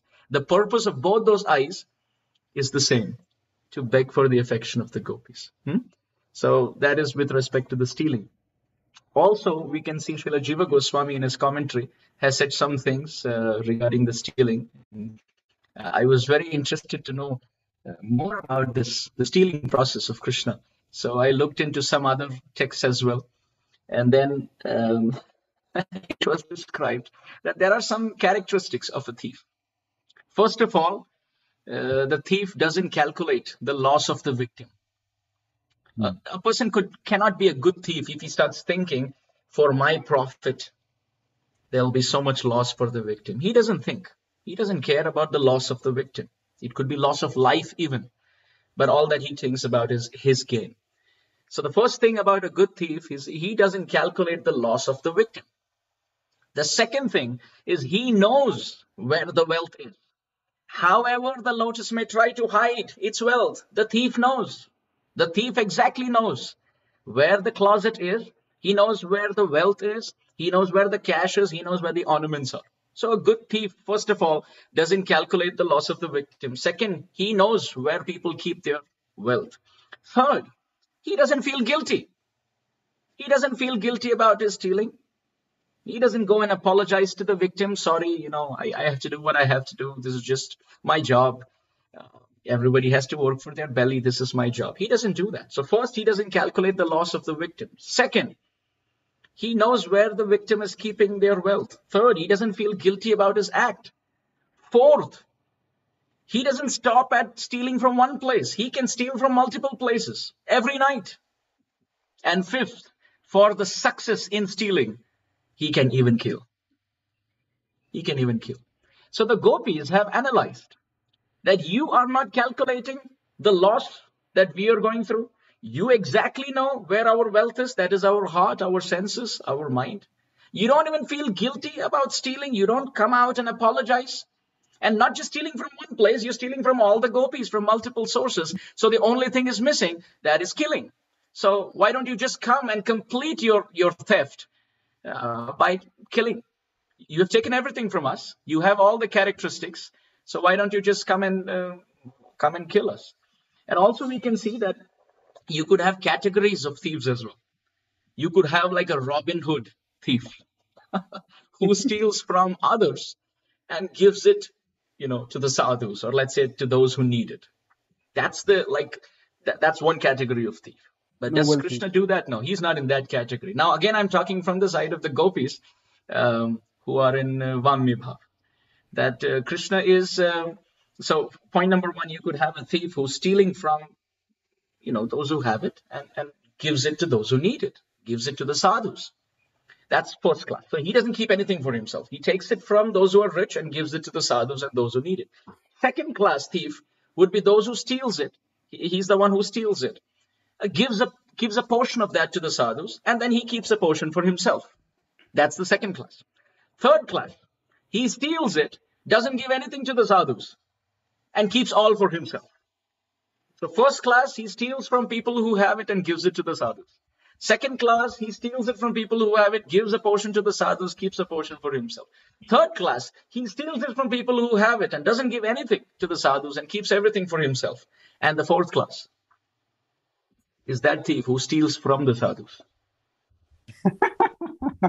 Oh God. So the gopis are saying, What kind of thief are you? You are the fourth class. You're not stealing from anyone, you're stealing from the sadhus. That is us. And if and, and to say that very poetically, they are saying you're stealing the world, the beauty of the world of the lotus. Because if you see, uh, the the lotus is a sadhu. That's the that, therefore a, a- pun has been used in the words by saying sadhu jata sat. sadhu means good, but sadhu also means a saintly person. So the lotus is considered to be saintly, and that this is why we equate that to Lakshmi Devi. Pani pallava yugam padmasanastham shriyam vatsalyadi gunojwalam bhagavati vande jagan mataram. Lakshmi has been compared to the lotus. Her hands are lotus, her feet are lotus. She holds a lotus, she wears garlands of lotus, sits in a lotus pose on a lotus. Right? So lotus is considered to be very saintly. And if you can steal the beauty from the sadhu, from the lotus, our situation is like that because we are saintly and you have stolen from the sadhu. So putting the characteristics of the thief together, uh, you don't think about the loss of the victim. You know, you know where the wealth is. You don't feel guilty. You don't apologize. You steal from multiple uh, places. Uh, you don't steal and share it to the sadhus. You steal from the sadhus. So the only thing is left to complete your checklist is murder. So why don't you just do it? Oh God. Amazing. If Prabhupada said that, you know, if Krishna is the best in everything, then Krishna can be the best thief. It's a complete robbery. Nothing is left. Amazing. Madhavan, you want to add something? Yeah, I was just uh, drinking in with my ears the nectar coming out of uh, out of uh, Amarendra Prabhu's mouth. Thank you very much. So sweet. I, I was thinking about this. Uh, you, you made me think about Krishna's restless eyes and how Radharani is also. In fact, Radharani, we know she has 25 different uh, qualities, and one of them is Chala Upanga, that she has very bright and very restless eyes. Radharani's glance is always restless. And I was thinking, why is Radharani's glance Krishna's glance restless? And I had some thoughts I just wanted to share. You can see what you think of these thoughts. Krishna's crooked. My grandma used to say he's crooked in three different places. And because Radharani, she's always looking to Krishna, then her eyes are also, they're crooked. She, she has a crooked glance. But then why is Krishna's glance crooked? Because Radharani is very straight. Radharani's love is very crooked because she's Bamya. Bamya Bhav, she's leftist. And because Krishna's always looking for that love of Radha, he's completely controlled by the love of Radha. His glance is also crooked. Any further thoughts from either of you why Krishna's glance is crooked? Radharani's glance is crooked? What do you think of that? Does that, that sound okay, my, my thought? It's amazing. Yes, Amarendra? Yeah. Actually, there is a verse in the fourth chapter of Adilila Chaitanya Charitamrita, uh, which has been quoted by Krishnadas Kaviraj Goswami, which says that Radharani is actually a bundle of contradictions. Her love is the highest, but yet she is the most humble. Her love is unlimited, and yet it continues to expand forever. Hmm? Vibhu, Vibhumapi Gaurava Charya Vihina. Kaviraj Goswami says. So she is like the bundle of transcendental contradiction. She is the highest, but put her, puts herself as the lowest. She is unlimited, yet she thinks she has no love. Premera swabhava a premera sambandha. Nahi Krishna premer, um, nahi prema gandha, Kaviraj Goswami says. Mahaprabhu said, I don't even have a scent of that love. So that's Radha Bhav. So because Radharani is like an ocean, constantly moving. So Krishna's eyes are also constantly moving, seeing the ocean of Radha's love. And uh, Srila Prabodhananda Saraswati has said, Vaidagya Sindhu Anuraga Rasaika Sindhu Vatsalya Sindhu Atisandra Kripaika Sindhu Lavanya Sindhu Amrita Chavi Rupa Sindhu Sri Radhika Spuratume Ridhikeli Sindhu. That Radharani is actually uh, Agastya Muni could drink the seven oceans but even Krishna cannot drink the seven oceans of Radha's characteristics. he says, Vaidhagya Sindhu. She, first, she is the ocean of cleverness and skill. And second, Vaidhagya Sindhu Anuraga Rasaika Sindhu. She is the ocean of Anurag Rasa, which means Krishna Prema Rasa, the liqu- liquefied form of Krishna Prema. And third, Vatsalya Sindhu. She is the ocean of affection, compassion and Atisandra Kripaika Sindhu. And she has unlimited mercy and magnanimity for fallen conditioned souls. And we can see in the pastime of Shiva Khori, where the jackal gets stuck in the pit in Radhakund and Radharani's heart melts. And fifth, Lavanya Sindhu. She is the ocean of beauty and Amrita Chavirupa Sindhu. From the ocean of milk came Lakshmi, but from the ocean of prem comes Radha. Sri Radhika Spuratume Ridikeli Sindhu. And uh, she is also the ocean of very beautiful Madhuryamai, sweet Brajalilas. So, O Radha, O Radharani, my heart is actually the ocean of salt water, the salt water of anarthas. But you are uh, the embodiment of seven oceans of bliss. So why don't you give a portion of that sweet water in my heart, this portion of your mercy, and make this pond as your this this ocean, dirty water ocean, as your bathing pond by residing here. So it is true. The word used is sindhu, which means it's constantly moving with waves and tides and uh, movements. And because Krishna has to keep up with these seven oceans, his eyes are always restless. So I, I completely agree to that, that description. It's amazing. Krishna's endlessly drinking. You know, it's interesting before I was introduced to Bhakti, I had read one spiritual book. It's, a, it's an interesting book, not a from a parampara. It says, How do you know a saintly person? It says, Their eyes are very calm. This says in the material world, a person who is driven by various desires, their eyes become very restless. But a saintly person's eyes are very calm. So we could say that it's it's like there is worldly passion, and then as we move forward, there's dispassion in the world we are restless for sense gratification. So the mi- mind is chanchala because it is uncontrolled. That's similarly the eyes are restless. Then as we become purified we come to the sattva, sattva level then it becomes pacified. But then when we go further it becomes transcendently agitated. There's transcendental restlessness. So both krishna and radharani they are having their divine we could say divine love affair and in that both of them are kept constantly restless. So, so beautiful project. So beautiful. I, I i really love this point where you said that in passion the eyes are restless. And then they come to a point of tranquility and serenity. And then it gets transcendently restless again. So beautiful. Thank you. Thank you for sharing that. Thank you for sharing so this is a drop of beauty of what you're sharing. It's amazing I was thinking that maybe many of the verses which you're discussing, many of the beautiful verses, uh, especially those which we are reciting, maybe you could later give the references and we could put the references in the link below. Those who want to go back, if, if they're available in database or online somewhere or in some books, the devotees can refer to it. Now, many of these verses are, especially there is a verse about Radharani's eyes, and uh, these are all worth memorizing and cherishing. They're like treasures. Hmm? It's amazing.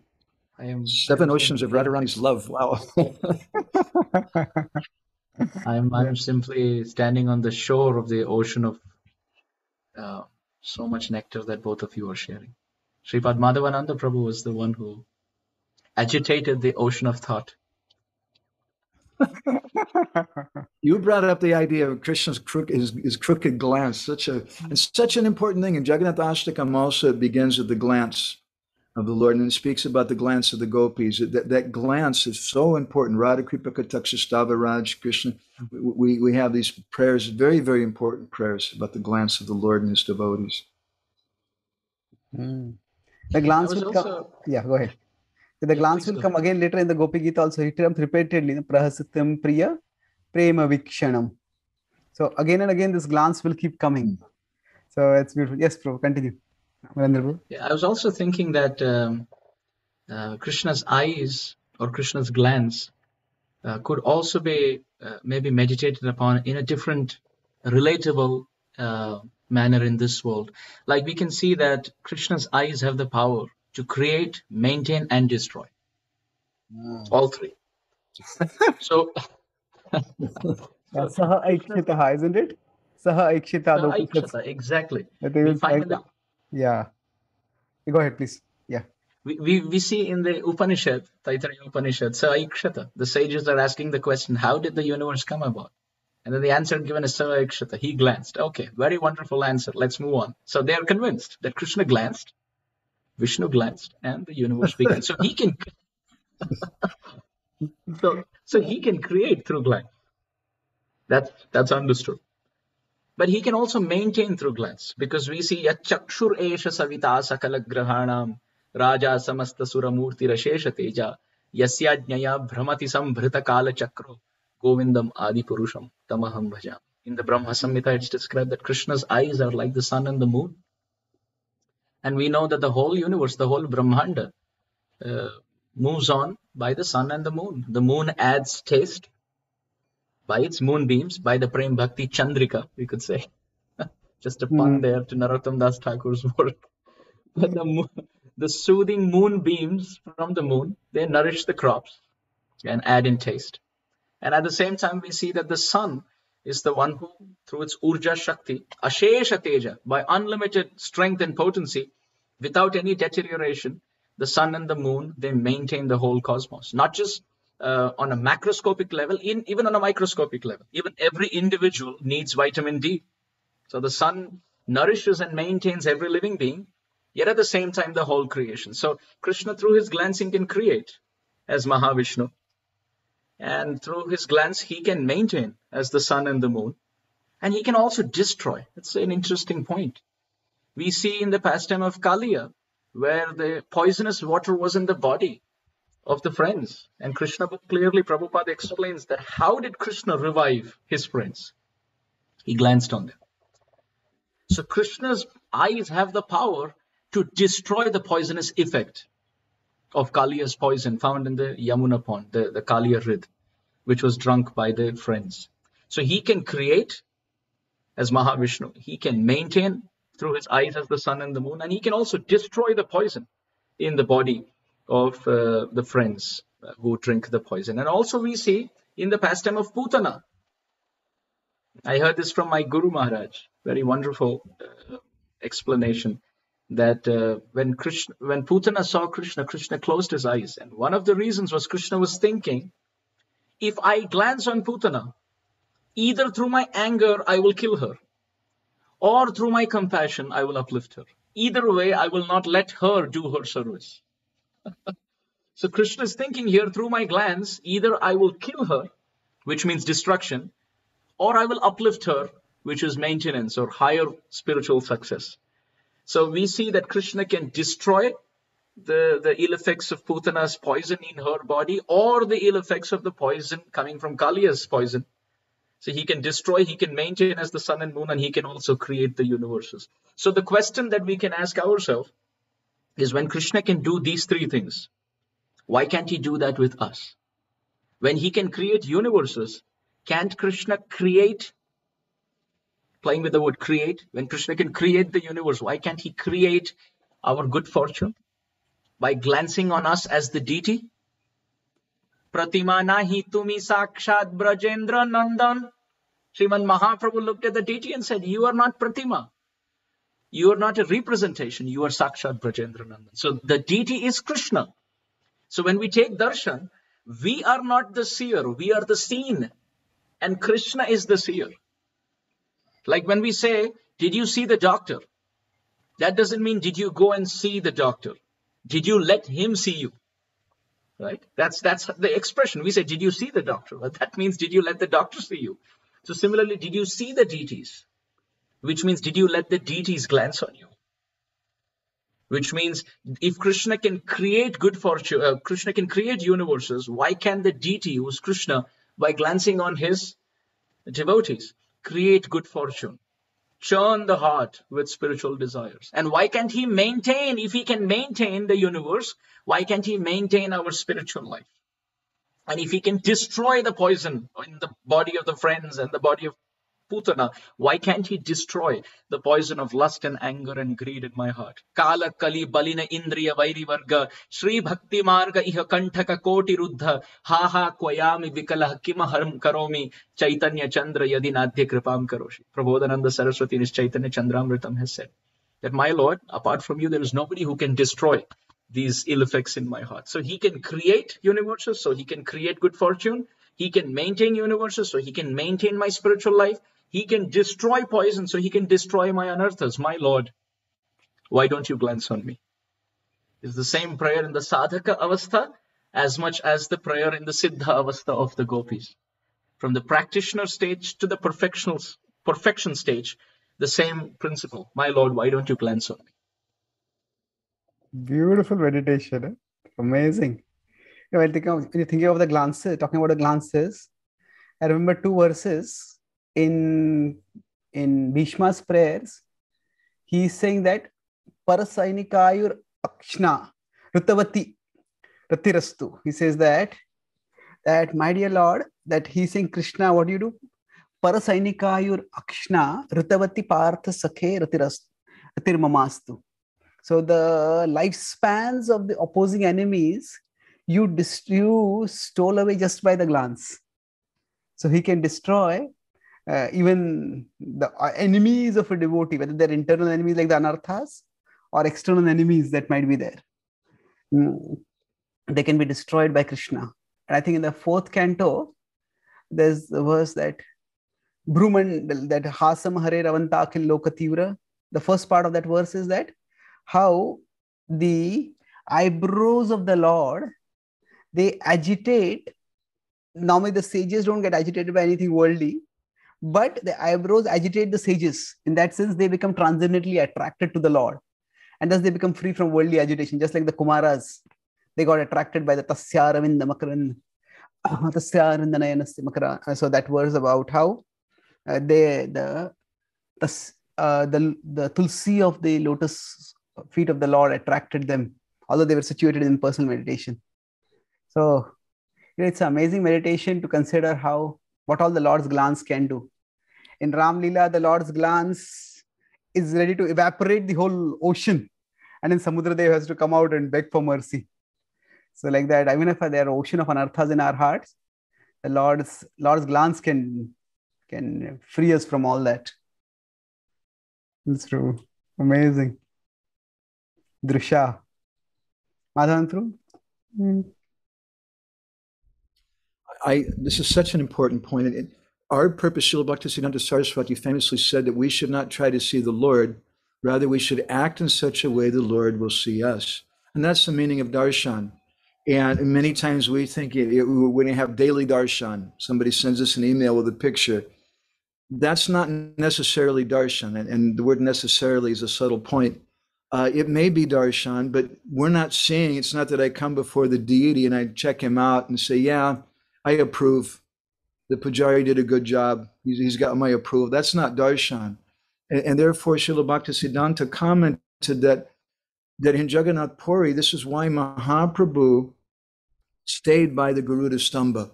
And, and when we speak about the Jagannath Puri University of Braj Prem, the first classroom is the Jagannath Mandir, and one of the lessons in that classroom is darshan. What is darshan? And when Mahaprabhu first went, he ran to embrace Jagannath. But after that, he would always stay back by Garuda. And there's an internal and an external purpose for that. The internal purpose is by that Garuda Stamba. I don't know. I'm a Bideshi. I can't have darshan. All I know to say in Odia is Bideshi probation shade. But uh, by standing next to that, Odia Hindi Bengali, by standing next to that Garuda Stamba, he could see Jagannath, but he wouldn't. He wasn't able to see Ra, uh, uh, Subhadra and Balaram because Mahaprabhu was in the mood of Radha. So that's his internal purpose. But externally, his purpose was to teach us the meaning of darshan. That I'm not the seer, but I should act in a way that the Lord will see me. And therefore, he stood by Garuda in his Dainya Bhav, thinking that why will Jagannath want to see me but let me stand next to Garuda. Garuda is a great devotee, and certainly Jagannath will look at him, and then maybe he'll see me also. In a similar way, Srila Bhaktisiddhanta said, This is what we do for parikrama. When we go on parikrama, it's not that we, we go there to buy a t shirt or to take some photos. We go with Gurudev. And he says that when we're going, we shouldn't be so concerned looking at the place at Radhakund or this tree or that mountain, but we should be looking to Gurudev to see what is Gurudev seeing. And that's really what it means to go on parikrama. So this glance is such a very, very important aspect of our philosophy. And I, I again, it's a subtle thing. We think that, that we're the seer when we actually we're, we're meant to be seen. We're thinking even deity darshan, we're sending aside, and, and it's a good preaching thing. I don't mean to, to fault it. This is the daily darshan of these deities, but is that really darshan? there's the deity can manifest, Lord can manifest in, in wood and stone, in a mind and sand, in different ways. But how does he manifest? What does it mean when he's manifest? When we go to Loi Bazaar and there's a thousand deities in the shop, do we offer obeisances to every deity? No, because we don't have the idea that they're they're installed. And what does that installation, that pranapratishta mean? The pranapratishta simply means someone is worshiping the Lord. And the Lord appears then when there's some love, some worship from the devotee. So I, we may get a picture, this is a daily darshan, and I say it doesn't necessarily mean this darshan. It may be darshan. How many devotees offer obeisances when that picture comes on their computer screen? How many of us offer prayers? How many of us offer incense, offer some worship? That's darshan. And Krishna becomes pleased with it. But just to see the Lord for my pleasure. That really cool. I really like that red outfit with the lotuses. Wow, that's just really far out. That's not darshan. That, that's not the whole Gaudiya mood as we started in the beginning of the session to describe.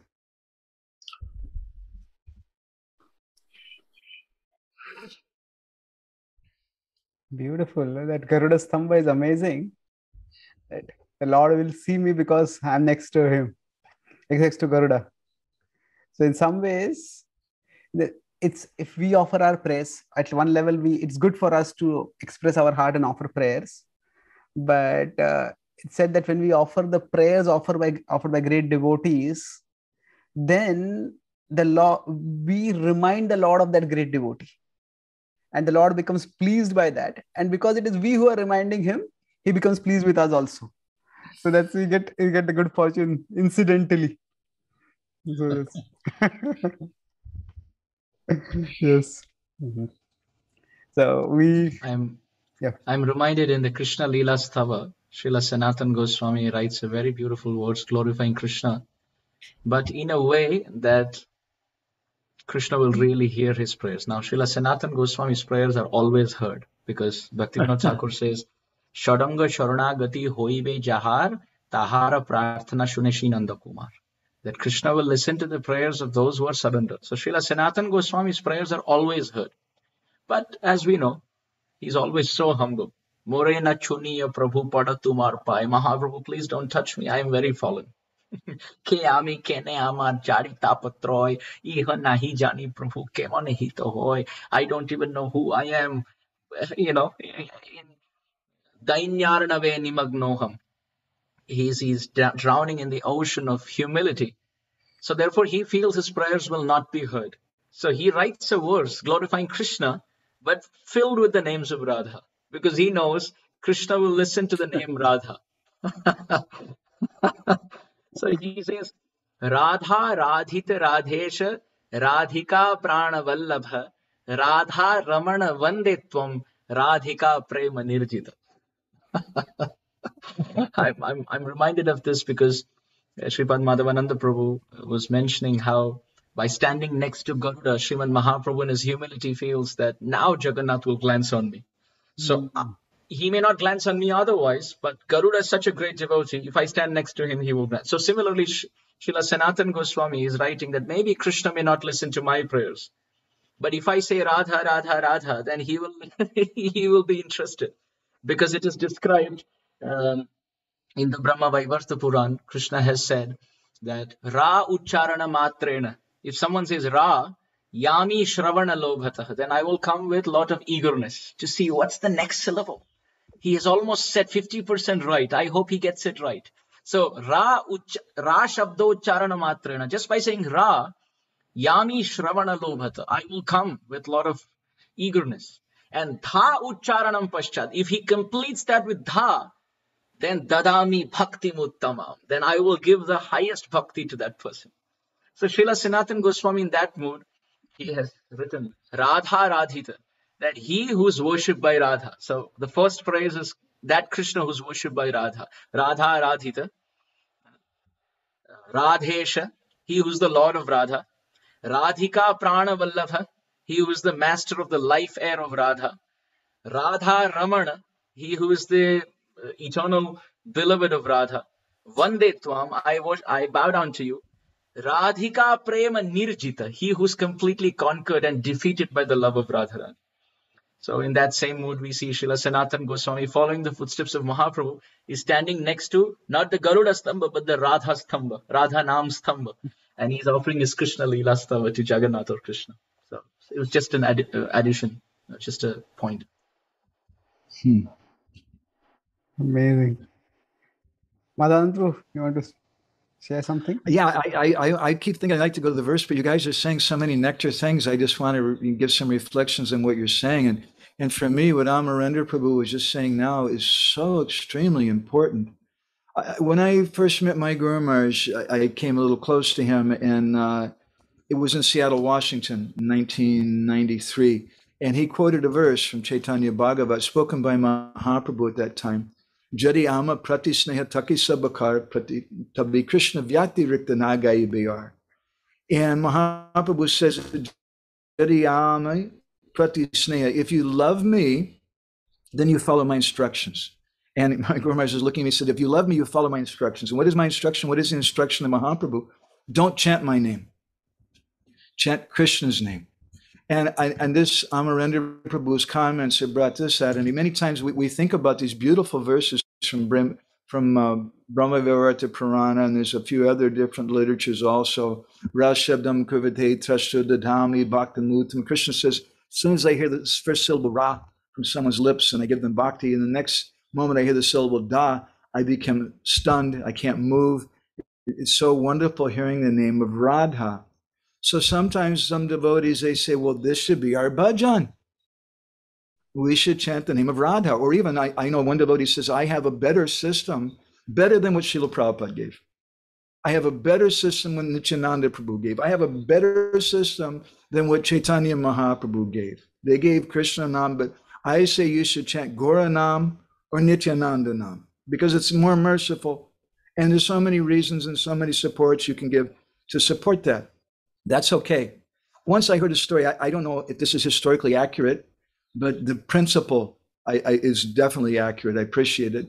I've heard that some disciples of Srila Bhakti Siddhanta once approached him at Radhakund and said, Guru Maharaj, you have one disciple here. He's become so advanced. He stopped chanting the name of Krishna. And now he's just chanting Radhe, Radhe, Radhe. And Srila Bhakti Siddhanta apparently quoted one of these verses from Brahma Vaivarta Purana and said, Yes, you know, if you chant the name of Radha, what you get. Krishna will personally come running. It's so great. But then he said, but we have a better program. we chant the name Krishna, and someone else comes running. and that other person is Radha.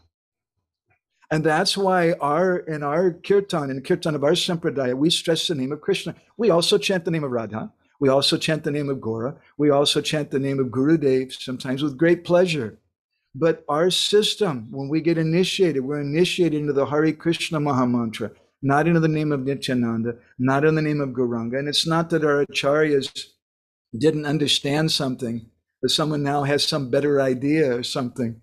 But we should be very, very careful. We should understand that we have the best program is not to chant the name of Radha or even to chant the name of Nitai, but better than that is to chant the name of Krishna and thereby please Radha and thereby please Nityananda Prabhu. Mhm. Yeah, and this is such an important point. Sometimes we become we then we, we very easily condemn material calculativeness that you'll go do this and go to heaven and things like that. But sometimes we become quite spiritually calculative. Like now Karthik is coming, and you would say, that, "Oh, if I do some bhakti, I'll get thousand times more benefit." And I mean, it's at, at one level, yena kena prakarena mana krishna niveshet, that is true. Right, so the, the same Bhakti Sama Sindhu has both these things. Yena kena prakarena it also says, and then also says anyabhilashita shunyam. So if somehow or the others, if oh hearing that in Kartik I can get so much benefits, I practice bhakti, that's also good. But that's at a preliminary level. At a higher level, we we intensify our bhakti during Kartik, not because we will get more benefits, but because we can please Krishna more. Like the Radharani's month, so we can please her more. And so this this higher motive is uh, is actually in one sense the essence of our sampradaya. That we do everything, we offer ourselves to Krishna completely. And that's love and separation. In one sense, the devotee is getting nothing, offering oneself to Krishna, and the devotee gets nothing, but still the devotee offers everything to Krishna. So, Amarendra, you want to say something? Yeah, please. Sure, sure, Prabhuji. Actually, Sripad Madhavananda Prabhu was mentioning about how uh, we chant the name of Krishna to attract the heart of Radharani. Uh, we see that um, um, Srim- Srimati Radharani uh, has said that Radha Radha Ma Vada Krishna Krishna Vada. When the parrot sat on her, the Vama Hastastita Shuka, when the parrot sat on the left hand of Radharani and said Radha Radha, Radharani said Radha Radha Ma Vada. Don't say Radha Radha. Krishna Krishna Vada. Chant the name of Krishna. That pleases my heart. That pleases my ears by chanting the name of Krishna. So the meditation could be chanting Radharani's name is for the pleasure of Krishna, and chanting Krishna's name is for the pleasure of Radharani. And therefore, in the Hare Krishna Mahamantra, Jaya Jaya Radha Krishna Yugalam Milan Arati Korove Lalit Adi Sakhigan. That we want to bring, just like eternally the gopis bring Radha and Krishna together in the Hare Krishna Mahamantra, we want to bring Radha and Krishna, who are not different from their names, together in the Hare Krishna Mahamantra.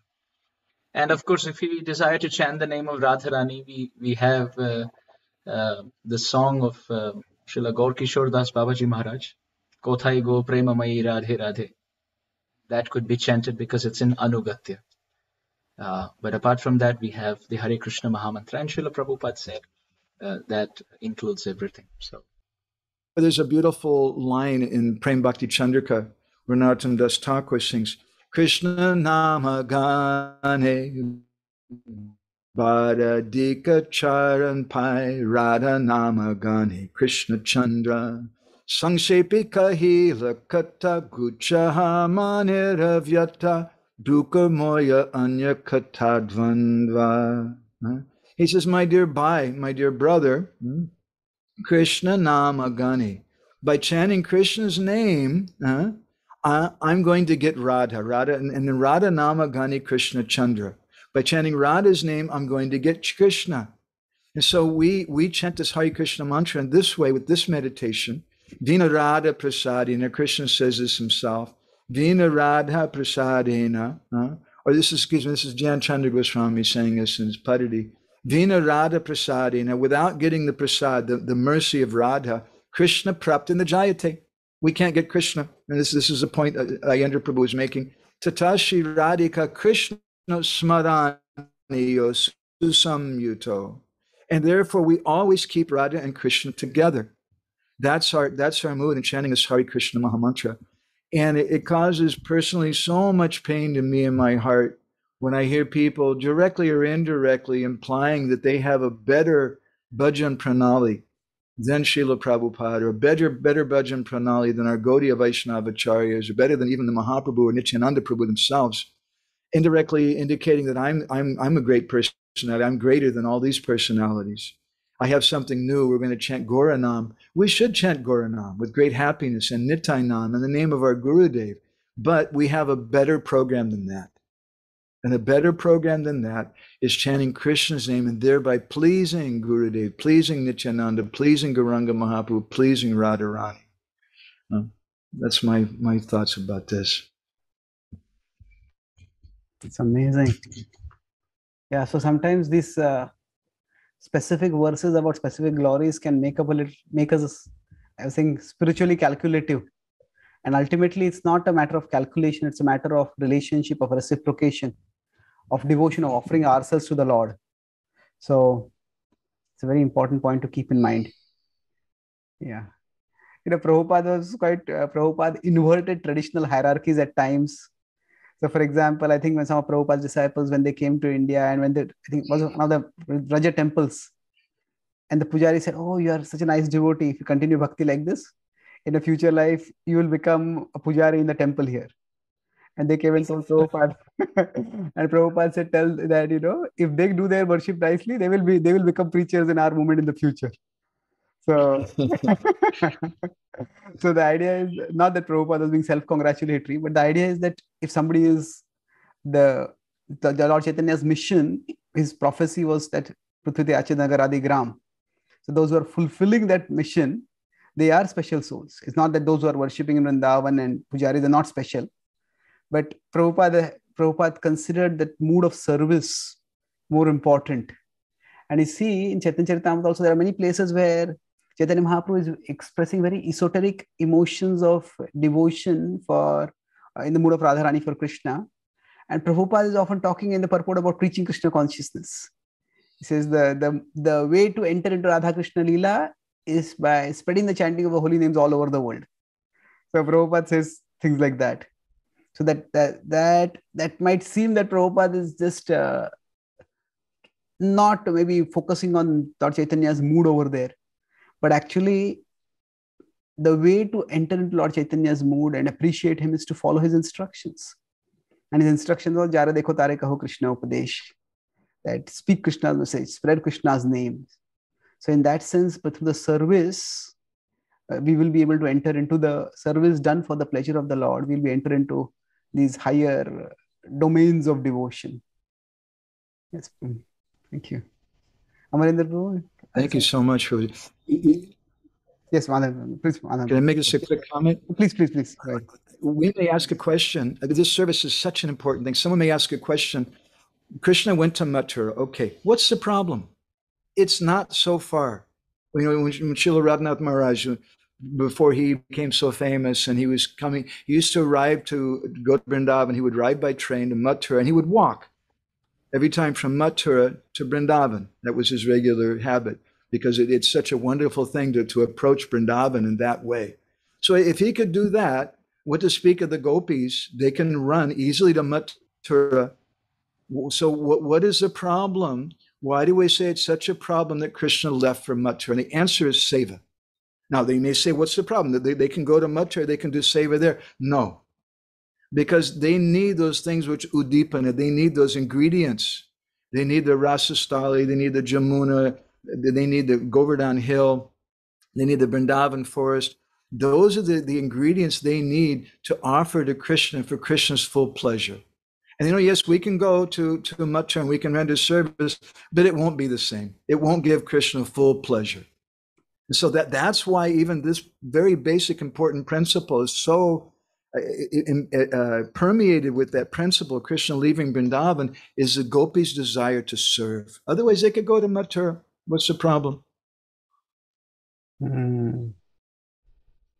It's beautiful. And that's why when they meet in Kurukshetra also, they say it's not the same. We want to get you back to Vrindavan, and here we can serve you. Although it's the same, they describe all the similarities, but therefore and when you go yeah please Yes, true. Madhan, please continue. And when the gopis, when the, when the devotees are going to Kurukshetra, the members of the Yadu dynasty, you're blinded for hundreds of miles around from the rays of the sun hitting the piles of gold and jewels and things in the back of their chariots, because they're bringing those things to give and don, to give in charity. I mean, the gopis, the Brijbasis, they're they're coming in wooden carts, and what do they have in the back of their carts? They don't have gold and jewels and things. They have gobar, cow dung. Why are they carrying gobar in the back of their chariots? gobar is such a valuable thing. It is so valuable. But this particular gobar, because Krishna likes to eat, he gets so much pleasure eating the, prasadam, which is cooked over the fire from the Brijbasi cows, the gobar, the, those cows. So they're bringing that service to Krishna. That's their, the Brijbasi's whole mood. Even if they leave, they're thinking service. Amazing. Yes, Marendra, you want to add something concluding? Mm-hmm. I'm reminded of um, Srila Prabodhananda Saraswati's Vrindavan Mahimamrita, where he says, Sammanam kalayati gora garalam nijanam sudha Sri Radha Muralidharu Bhaj Sakhe Vrindavanam Matyaja. He says that there are four ingredients needed for rasa to manifest. The first thing is, the first person is Krishna, the second is Radha, the third are the gopis, and fourth is Vrindavan. So if you see in Kurukshetra, there was Radharani, there was Krishna and the gopis, but there's no Vrindavan. and he says, but however, it's possible that we could live in Vrindavan with Radha Krishna and the gopis and still not taste anything. So what's the way out? What's the way? He says, Sammanam kalayati gora garalam nichapamanam sudha. He says that consider respect and honor to be the worst poison and criticism by the most fallen people to be the most nectarian, ambrosial drink to accept in life. If this mood, which actually means it's a it's a paraphrase of Trinadapi Sunichena Taruropi Sahishnuna, Amanina Manadena Kirtaniya Sadahari. He says, if we can consider respect and honor to be the worst poison, Sammanam Kalayati Ghora Garalam, the most intense, fierce poison, and Nicha Apamanam Sudha, not Apamanam Sudha, not considering dishonor to be nectarian, dishonor by the most fallen people to be Sudha, to be nectar. If that is there, then Sri Radha Murali Dharo Bhajasakhe. Then one can worship Radha and Krishna I living in Vrindavan and taste that rasa. So, so it's very interesting. Now coming back to another thing that I'm I'm reminded uh, Sripad Aindra Prabhu used to say, mapping Krishna Lila with Gaura Lila. He used to say that uh, Krishna Lila means Nikunja Seva and Rasa Lila. Serving Radha and Krishna in our private Nikunja, and at the same time serving Radha and Krishna together with other Sakhis. And he says, when Radha and Krishna came together in this world as Mahaprabhu, all the gopis came as the Gaur Parshad the associates of Mahaprabhu. Then what did the Nikunja Seva and the Rasalila come down as? He said the Nikunja Seva came down as Japa and the Rasalila came out as Namasankirtan. So the public offering of our heart with other like-minded devotees is the Rasalila. And personal offering to Radha and Krishna in the Nikunja of one's heart by putting our hand into the bead bag is Japa Seva. So he would say Nikunja, when one performs seva in the Nikunja to Radha and Krishna, uh, then it catches Krishna's attention and then he includes us in the Rasa Leela. And on the other hand, if one performs very wonderfully in the Rasa Leela, then Krishna may take some personal interest with Radharani and uh, call the Sakhi uh, or, or, enter into the Sakhi's grove with Radharani.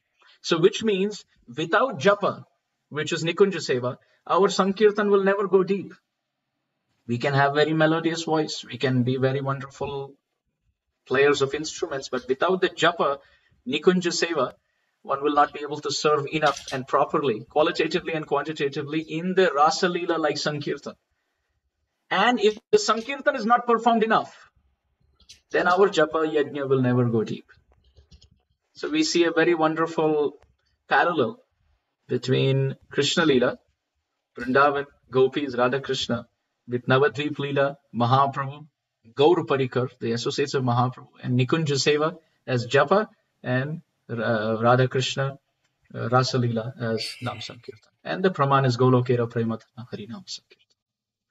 Again, this is coming from Sripad Aindra Prabhu. I was just reminded uh, by the discussion from Sripad uh, Madhavananda Prabhu. Amazing. We could just go on and on, and uh, I'd love to. Mm. But it's midnight for you, Amarendra. And I know your enthusiasm is there today, but you know you have your services tomorrow also. so should I try to summarize? I don't know if I can today. We did so much. Or Please. are there any, any anything still wanting to explode from the heart for either of you? Any points that are still there? a lot we can discuss next week, but anything that is still you want to add concluding, either of you? Madhandru? Yeah, personally, I, I, I, just, this comment from Ayendra, I, I'm just going to try to digest that and relish that. And I'm just going to swirl that around in my mouth and try to taste that. And that'll probably keep me fully satisfied for at least another week. I think that was a beautiful comment to end on. Thank you, Amarendra. it's profound. It's a, I think uh, in this in this Zoom room, there's lots happening. On one side, we have the Gaur Leela coming from Chaitanya Charan, and on the other hand, we have the Radha Krishna Leela giving Ananda to Madhava and Madhavi as Madhava Ananda Prabhu. and I'm just the onlooker, so I'm, I'm, I'm the audience. So you are you are giving the nectar that is that is enriching both of us so Amar Indra, you know, the immortal nectar. and he's he's the Indra of that also. Yeah. he's the king of that that speech because he's doing it to serve his Gurudev for his pleasure. That's true. Thank you.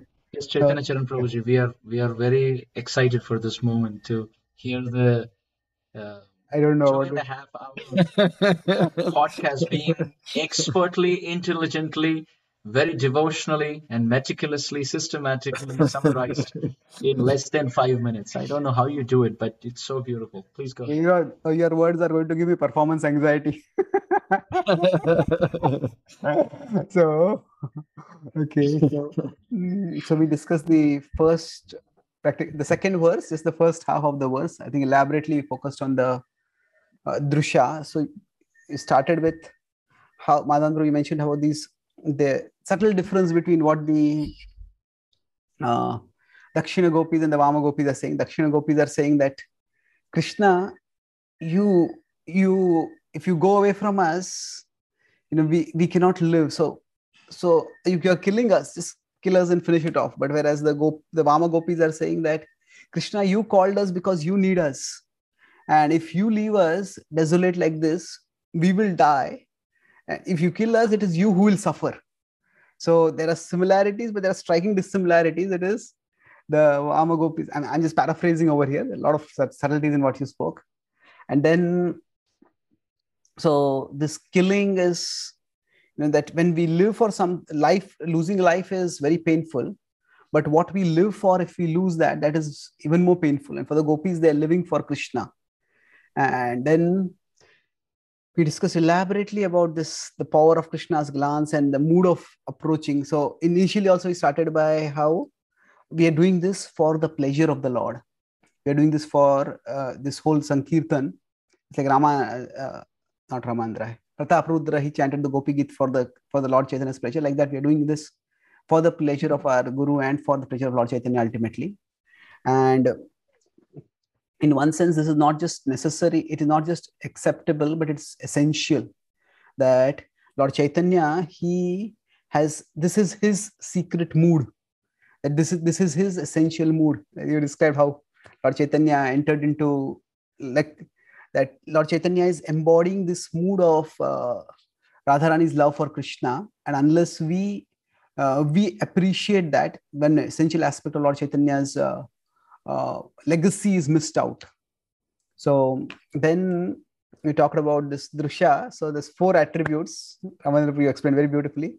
So the time, the place, then the the Charadudasa sadhu jata sat, the well cultivated and uh, and well raised and then well formed also. So this lotus is exquisite. Its beauty is stolen by Krishna's glance. So Krishna can steal. This is amazing analysis of how Krishna is the ultimate thief. And this uh, we have so much. This is so central to our tradition that Krishna steals, and uh, we could understand it at various levels. But you give Madan Rugo this understanding that how Krishna, when he's stealing, why is he stealing? It is because when he the gopis offer themselves to him, he feels that I cannot repay them. So how do I repay? I can borrow. He can't borrow from anyone. He can't work for anyone. So he enters into the gopis' heart to steal a little bit of their love so that he can offer them back. Enters into Radharani's heart, and then that Shyama Sundar emerges as Gaura Sundar. So the stealing is completely transcendental, and Krishna steals. He can steal with any of his senses. So he can steal just by the glance, and if he can steal the beauty of the lotus petals, which are Eh, which are what if they are in a forest? So that they're secluded. They're surrounded by water. They're surrounded by other lotuses. They're surrounded by their own petals. And still the world of that the beauty of the world krishna is stealing so similarly the gopis say that now we are alone. We are in the forest. We are we have left our family. We are here alone. Then you can just plunder our heart. And that is what you have done krishna. And now you are leaving us to die. So characteristics of a thief he doesn't care for the pain caused to the for the loss caused to the victim it doesn't he the thief is uh, doesn't feel any guilt.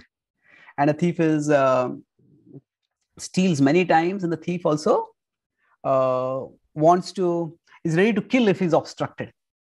So like that krishna you're stolen from us and the, you don't understand what how much pain you're causing when you're stealing our hearts and going away. And you don't feel any remorse you just left us abandoned us like this and not just one of us, all of us, you have done this. And now, are you going to kill us after this? So that metaphor of stealing was amazingly developed. And then we went into, uh, I mean, you could say paroxysms of ecstasy over Drisha, the Krishna's glance, and many things, many, many references from scripture about the power of Krishna's glance. So Krishna can create, maintain, destroy, by his glance. He can do that with the material existence, and he can do that for our for our bhakti tabij also. He can and he can destroy the enemies, the inner and outer enemies for our the progress of our bhakti. And then with respect to this, this, this Krishna is Angani Sakalendriya, that he can do everything with all his senses. And then we went into the the elaborate correlation, Madan we talked about elaborate correlation between Gaur Lila and Chaitanya Lila in various ways. So especially Lord Chaitanya's mood is uh, is that he is uh, worshipping, that he is worship, that mood of worship in separation, love in separation, that is manifested here by the gopis. And in that connection, we discussed about how Lord. So when, when the drusha is we when we go in front of the Lord and take darshan, it is not that we are taking darshan, but rather we are we are not seer, but we are being seen by the Lord. And Lord Chaitanya stood near the Garuda Stamba. At one level, at a, he stood there because at one level it is that uh, he is in the mood of Radha. So he just from there he can only see Jagannath and not Subhadra and Baladev. But at another level, at the external level, it's also that he thinks that I'm such a such a fallen soul, the Lord may not notice me, but if I stand near Garuda, he will notice me so it's beautiful. So similarly so that that the potency of the lord's glance the beauty of the lord's glance it is not that we just by staring at him we can catch his glance beauty. Rather it is when we please him by our service then he bestows his glance upon us. And that's what uplifts us that's what purifies us. And then also that that connection discuss how the mood of service is so important. That to enter into these higher moods it's a, we may say that oh, if Radha is so special to Krishna, then we just chant Radha's names or or Gaura's names or Nityananda's names, Lord Nityananda's names. But then it is ultimately we have to please our spiritual master. And when we chant Krishna's names, Radharani is pleased when we chant Krishna's names. Lord Chaitanya wants us to chant Krishna's names. So when we chant Krishna's name, we please all of them and we get their blessings also. And he talk, Maranpuri talked about how towards the end, many things, but especially this uh, aspect of how the two things, the Manjari Bhav, uh, that Hare Krishna Mahamantra is the Manjari Bhav Seva. That the Krishna's name, the Ram's name, the central and they're loud, and the Hare is, they can be both Radharani's names and Krishna's names. And this is the Manjaris, they assist the divine couple in their service. So similarly, what we are doing in the Hare Krishna Mahamantra is we're getting the divine couple together through the chanting of the Hare Krishna mantra. So it is quite esoteric. And you also, Madhavendra talked about this, uh, the esoteric explanation of the the, the very esoteric sounding uh, passage from the Harinam Chintamani. So, put the, but the essence of that esoteric passage is that just as Radharani is, is, is offering herself for Krishna's pleasure, so similarly, the chanting of the holy names is where we are offering our heart and our consciousness for Krishna's pleasure. And then toward the end, that that Nikunja Seva and the Ras Leela, which are there in, in Radha Krishna's pastimes, they manifest in Gaur Leela as Japa and Kirtan. And both of them mutually strengthen each other. So for all of us you know if we for rasa to also for rasa to manifest so somebody might just go to vrindavan but they may not experience rasa. The gopis could easily have gone to mathura but they couldn't experience rasa mm-hmm. because you know for them they, it's not just seeing krishna but serving krishna and for that they need the uddipan they need the tadiya and that is present in vrindavan so for rasa, we need Radha, Krishna, Gopis, and Vrindavan. And along with that, we need that, that mood of humility that we treat worldly honor like poison and worldly uh, and criticism even from the low, lowest of people as nectar. So when we have that uh, humility, then we can kirtaniya sadahari, we can become absorbed in the glories of the Lord. So this was a this was an amazing, you could say, balance of uh, transcendence of very ele- elevated level of transcendence as well as an emphasis on the pathway by which we can attain that transcendence. So thank you very much both of you. You want to add any concluding words which i missed out or thing you want to add? Amarendra prabhu he, he did it didn't he? That was pretty good wasn't it? What do you think amarendra? So amazing he's he's incredible how you can summarize that i i have a i have a thought that if somehow I'm here on this Zoom meeting and I'm with Chaitanya Charan Prabhu and Amarendra Prabhu, maybe Krishna will definitely look at the two of you, and maybe he'll see my little face over there in the box. and maybe I'll if, get some blessing from that. If, if we are like Garuda, then you're like Chaitanya Mahaprabhu. Mahaprabhu's the one. Prabhu, actually, because you are there, that's why we are able to even dare, we are daring to enter into these discussions Madhavan through. That's why we are doing that, and I'd say that it's it's uh it's because of your presence that whatever nectar is manifesting, your presence, your words, and yes, we do pray that Krishna glance upon all of us, Radharani glance upon all of us, and give us some mercy. Well, you know, it, it's like here here in Orissa, you have many famous Odissi dance gurus. They teach mm. Odissi dance, and one Odissi dance guru, he may have a child and the child is like four or five months old, and the child can't even walk properly yet. Mm. But the child is watching the father dance, and the father is so extra, so many mudras and moving in such a fluid, beautiful way. The child is trying to imitate the father. And it has no meaning. It's a joke. He can't even walk yet, but he's trying to imitate. But there's one benefit by the activity of that child. If it brings a smile to the face of the Father. It brings some happiness to his face. So I know for myself, I, I have no adhikar to even touch these subjects. But if it brings a little pleasure to my Gurudev and to the senior Vaishnavas, then like that child who's who's trying to dance and he can't even walk, it has some meaning. I am in the womb then. Sripad Madhavananda Prabhu is like a four month old child. I am in the womb and uh, I always pray that I remain in the womb. I, I grow in the womb and live live in the womb. Mm. But, uh, I think it's a good time to finish now. He's going to start saying now there'll be a competition for humility. but I also, uh, from from the bottom of my heart, express my gratitude. Um, I, I don't understand these sections of the Bhagavatam, but uh, when I get to hear from Sripad Madhavananda Prabhu and Chaitanya Charan Prabhu, who bring in scholarship, devotion, um, service, experience, attachment to Sri Guru, and depth, then uh, I feel very protected. So, uh, thank you for including me on this. And I, and I hope, wish, and pray that uh, may, may Krishna bless me with continued sadhu sangha for a long time. At least for me, I can say when you are attributing to me what is present in your heart. And although it is not present in my heart, because it is so much in there, your heart, so you're seeing it in me also. That's Atmavan Manyate Jagat, right? in a transcendental sense. Sripad Madhavananda Prabhu is quoting verses now for all the jokes.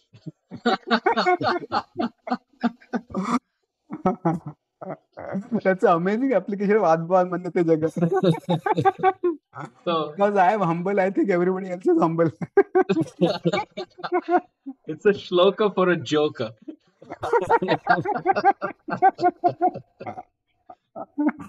Shloka for every joke.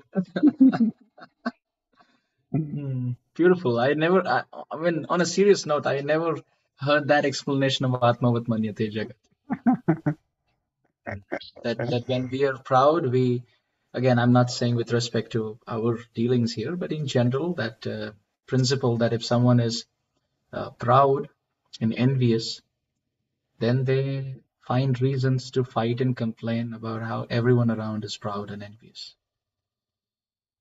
And someone who's um seeing Krishna in all circumstances is appreciating that how others are also seeing Krishna in all circumstances. So beautiful. And maybe in the same way, if we're part of a conspiracy to try to enjoy separate from Krishna, we're part of this conspiracy, then Atmavan Manyate Jagat, we'll see all kinds of conspiracies in the world too. And there, there are people trying to control me because that's my mentality. Beautiful, yeah. You know, I was talking with one senior Vaishnava who was very severely criticized by another Vaishnava. And, you know, others were saying, you know, he's so envious of you. So he said, no, he's so fixed in his in his way of serving Krishna that he cannot appreciate any other way of serving Krishna. So that was such an amazing way of looking at it. So it struck me that rather than seeing the criticism, he was seeing the service attitude. Although we could, at a logical level, the criticism could be countered in many different ways, but that is Atmavan Manyate Jagat also. At the Krishna in the fourth canto of the Bhagavatam is a wonderful purport from Vishwanath where he speaks about four types of mahat and four types of asadhus. You're probably both familiar with it. There's the mahat, the mahatura, the uh, mahatutam, mahat uttam, and the atya mahat uttam. And I think it's um, uh, mahat, mahatama where Vishwanath says that he gives an example that a thief comes during the winter to a person, and all the person has is his kumbo, his blanket. And the thief comes with a knife and he takes that person's blanket away. And that person, he's such a saint, he thinks the thief, he's a good person. And you say, How is he a good person? It's winter time. He's taking the only thing you have. That no, no, he's a saint because he had a knife and he could have hurt me, but he didn't. So obviously he's a saint. Wow. That's an example. of that. Wow. oh God, amazing. Yeah. Wow. This discussion reminds me uh, of the six Goswamis coming together, Krishna Kirtana Gana Nartana Prabhu, and, and hearing and chanting together, and the the the, the waves that that, that uh, the waves of Gora Rasa arising and, and flying like, like waves in the ocean of nectar. Association, you two are like the the book uh, Karnananda describes how Srinivasacharya every day would come together with the devotees and they would have long discussions. Parasparano katanam pavanam bhagavad-yasa, the Bhagavatam 11th canto says, we should learn how to come together with the devotees. And, and they would come together and they would spend hours and hours. And every day they were reading Govinda Lilamrita, Bhagavatam, and, and uh, so many different works of the Goswamis and doing kirtan and chanting japa. And that was their program every day. Instead of going to Facebook and speaking about the bad qualities of somebody. Hare Krishna. Yeah. So thank you both so much. Thank you very much, Madhan. That's a very Okay, I'm thinking of of Amarendra Prabhu's mother. She's going to be angry with us if we, we make him stay up much later. So we should we should finish. yes, Prabhu. Thank you very And I'm actually thinking in my stomach for prasadam. Thank you, Prabhu. Thank you. Wonderful. Look forward to next week once again. Thank you. This is going to make the Karthik one of the most memorable Karthiks for all of us, I think. Mm, Thank you. Definitely for me. Thank you. For me, Thank definitely also. Thank you. Thank, Thank you. you. so much. Hare Hare Krishna. Krishna. Thank you, Madhavan Prabhu. Thank you, Amarendra Prabhu. Hare Krishna. Vancha kalpadurubhascha kripasindhubhyevacha patitanam pavanebhyo vaishnavebhyo Namo Namo. namo. Jai. Bye.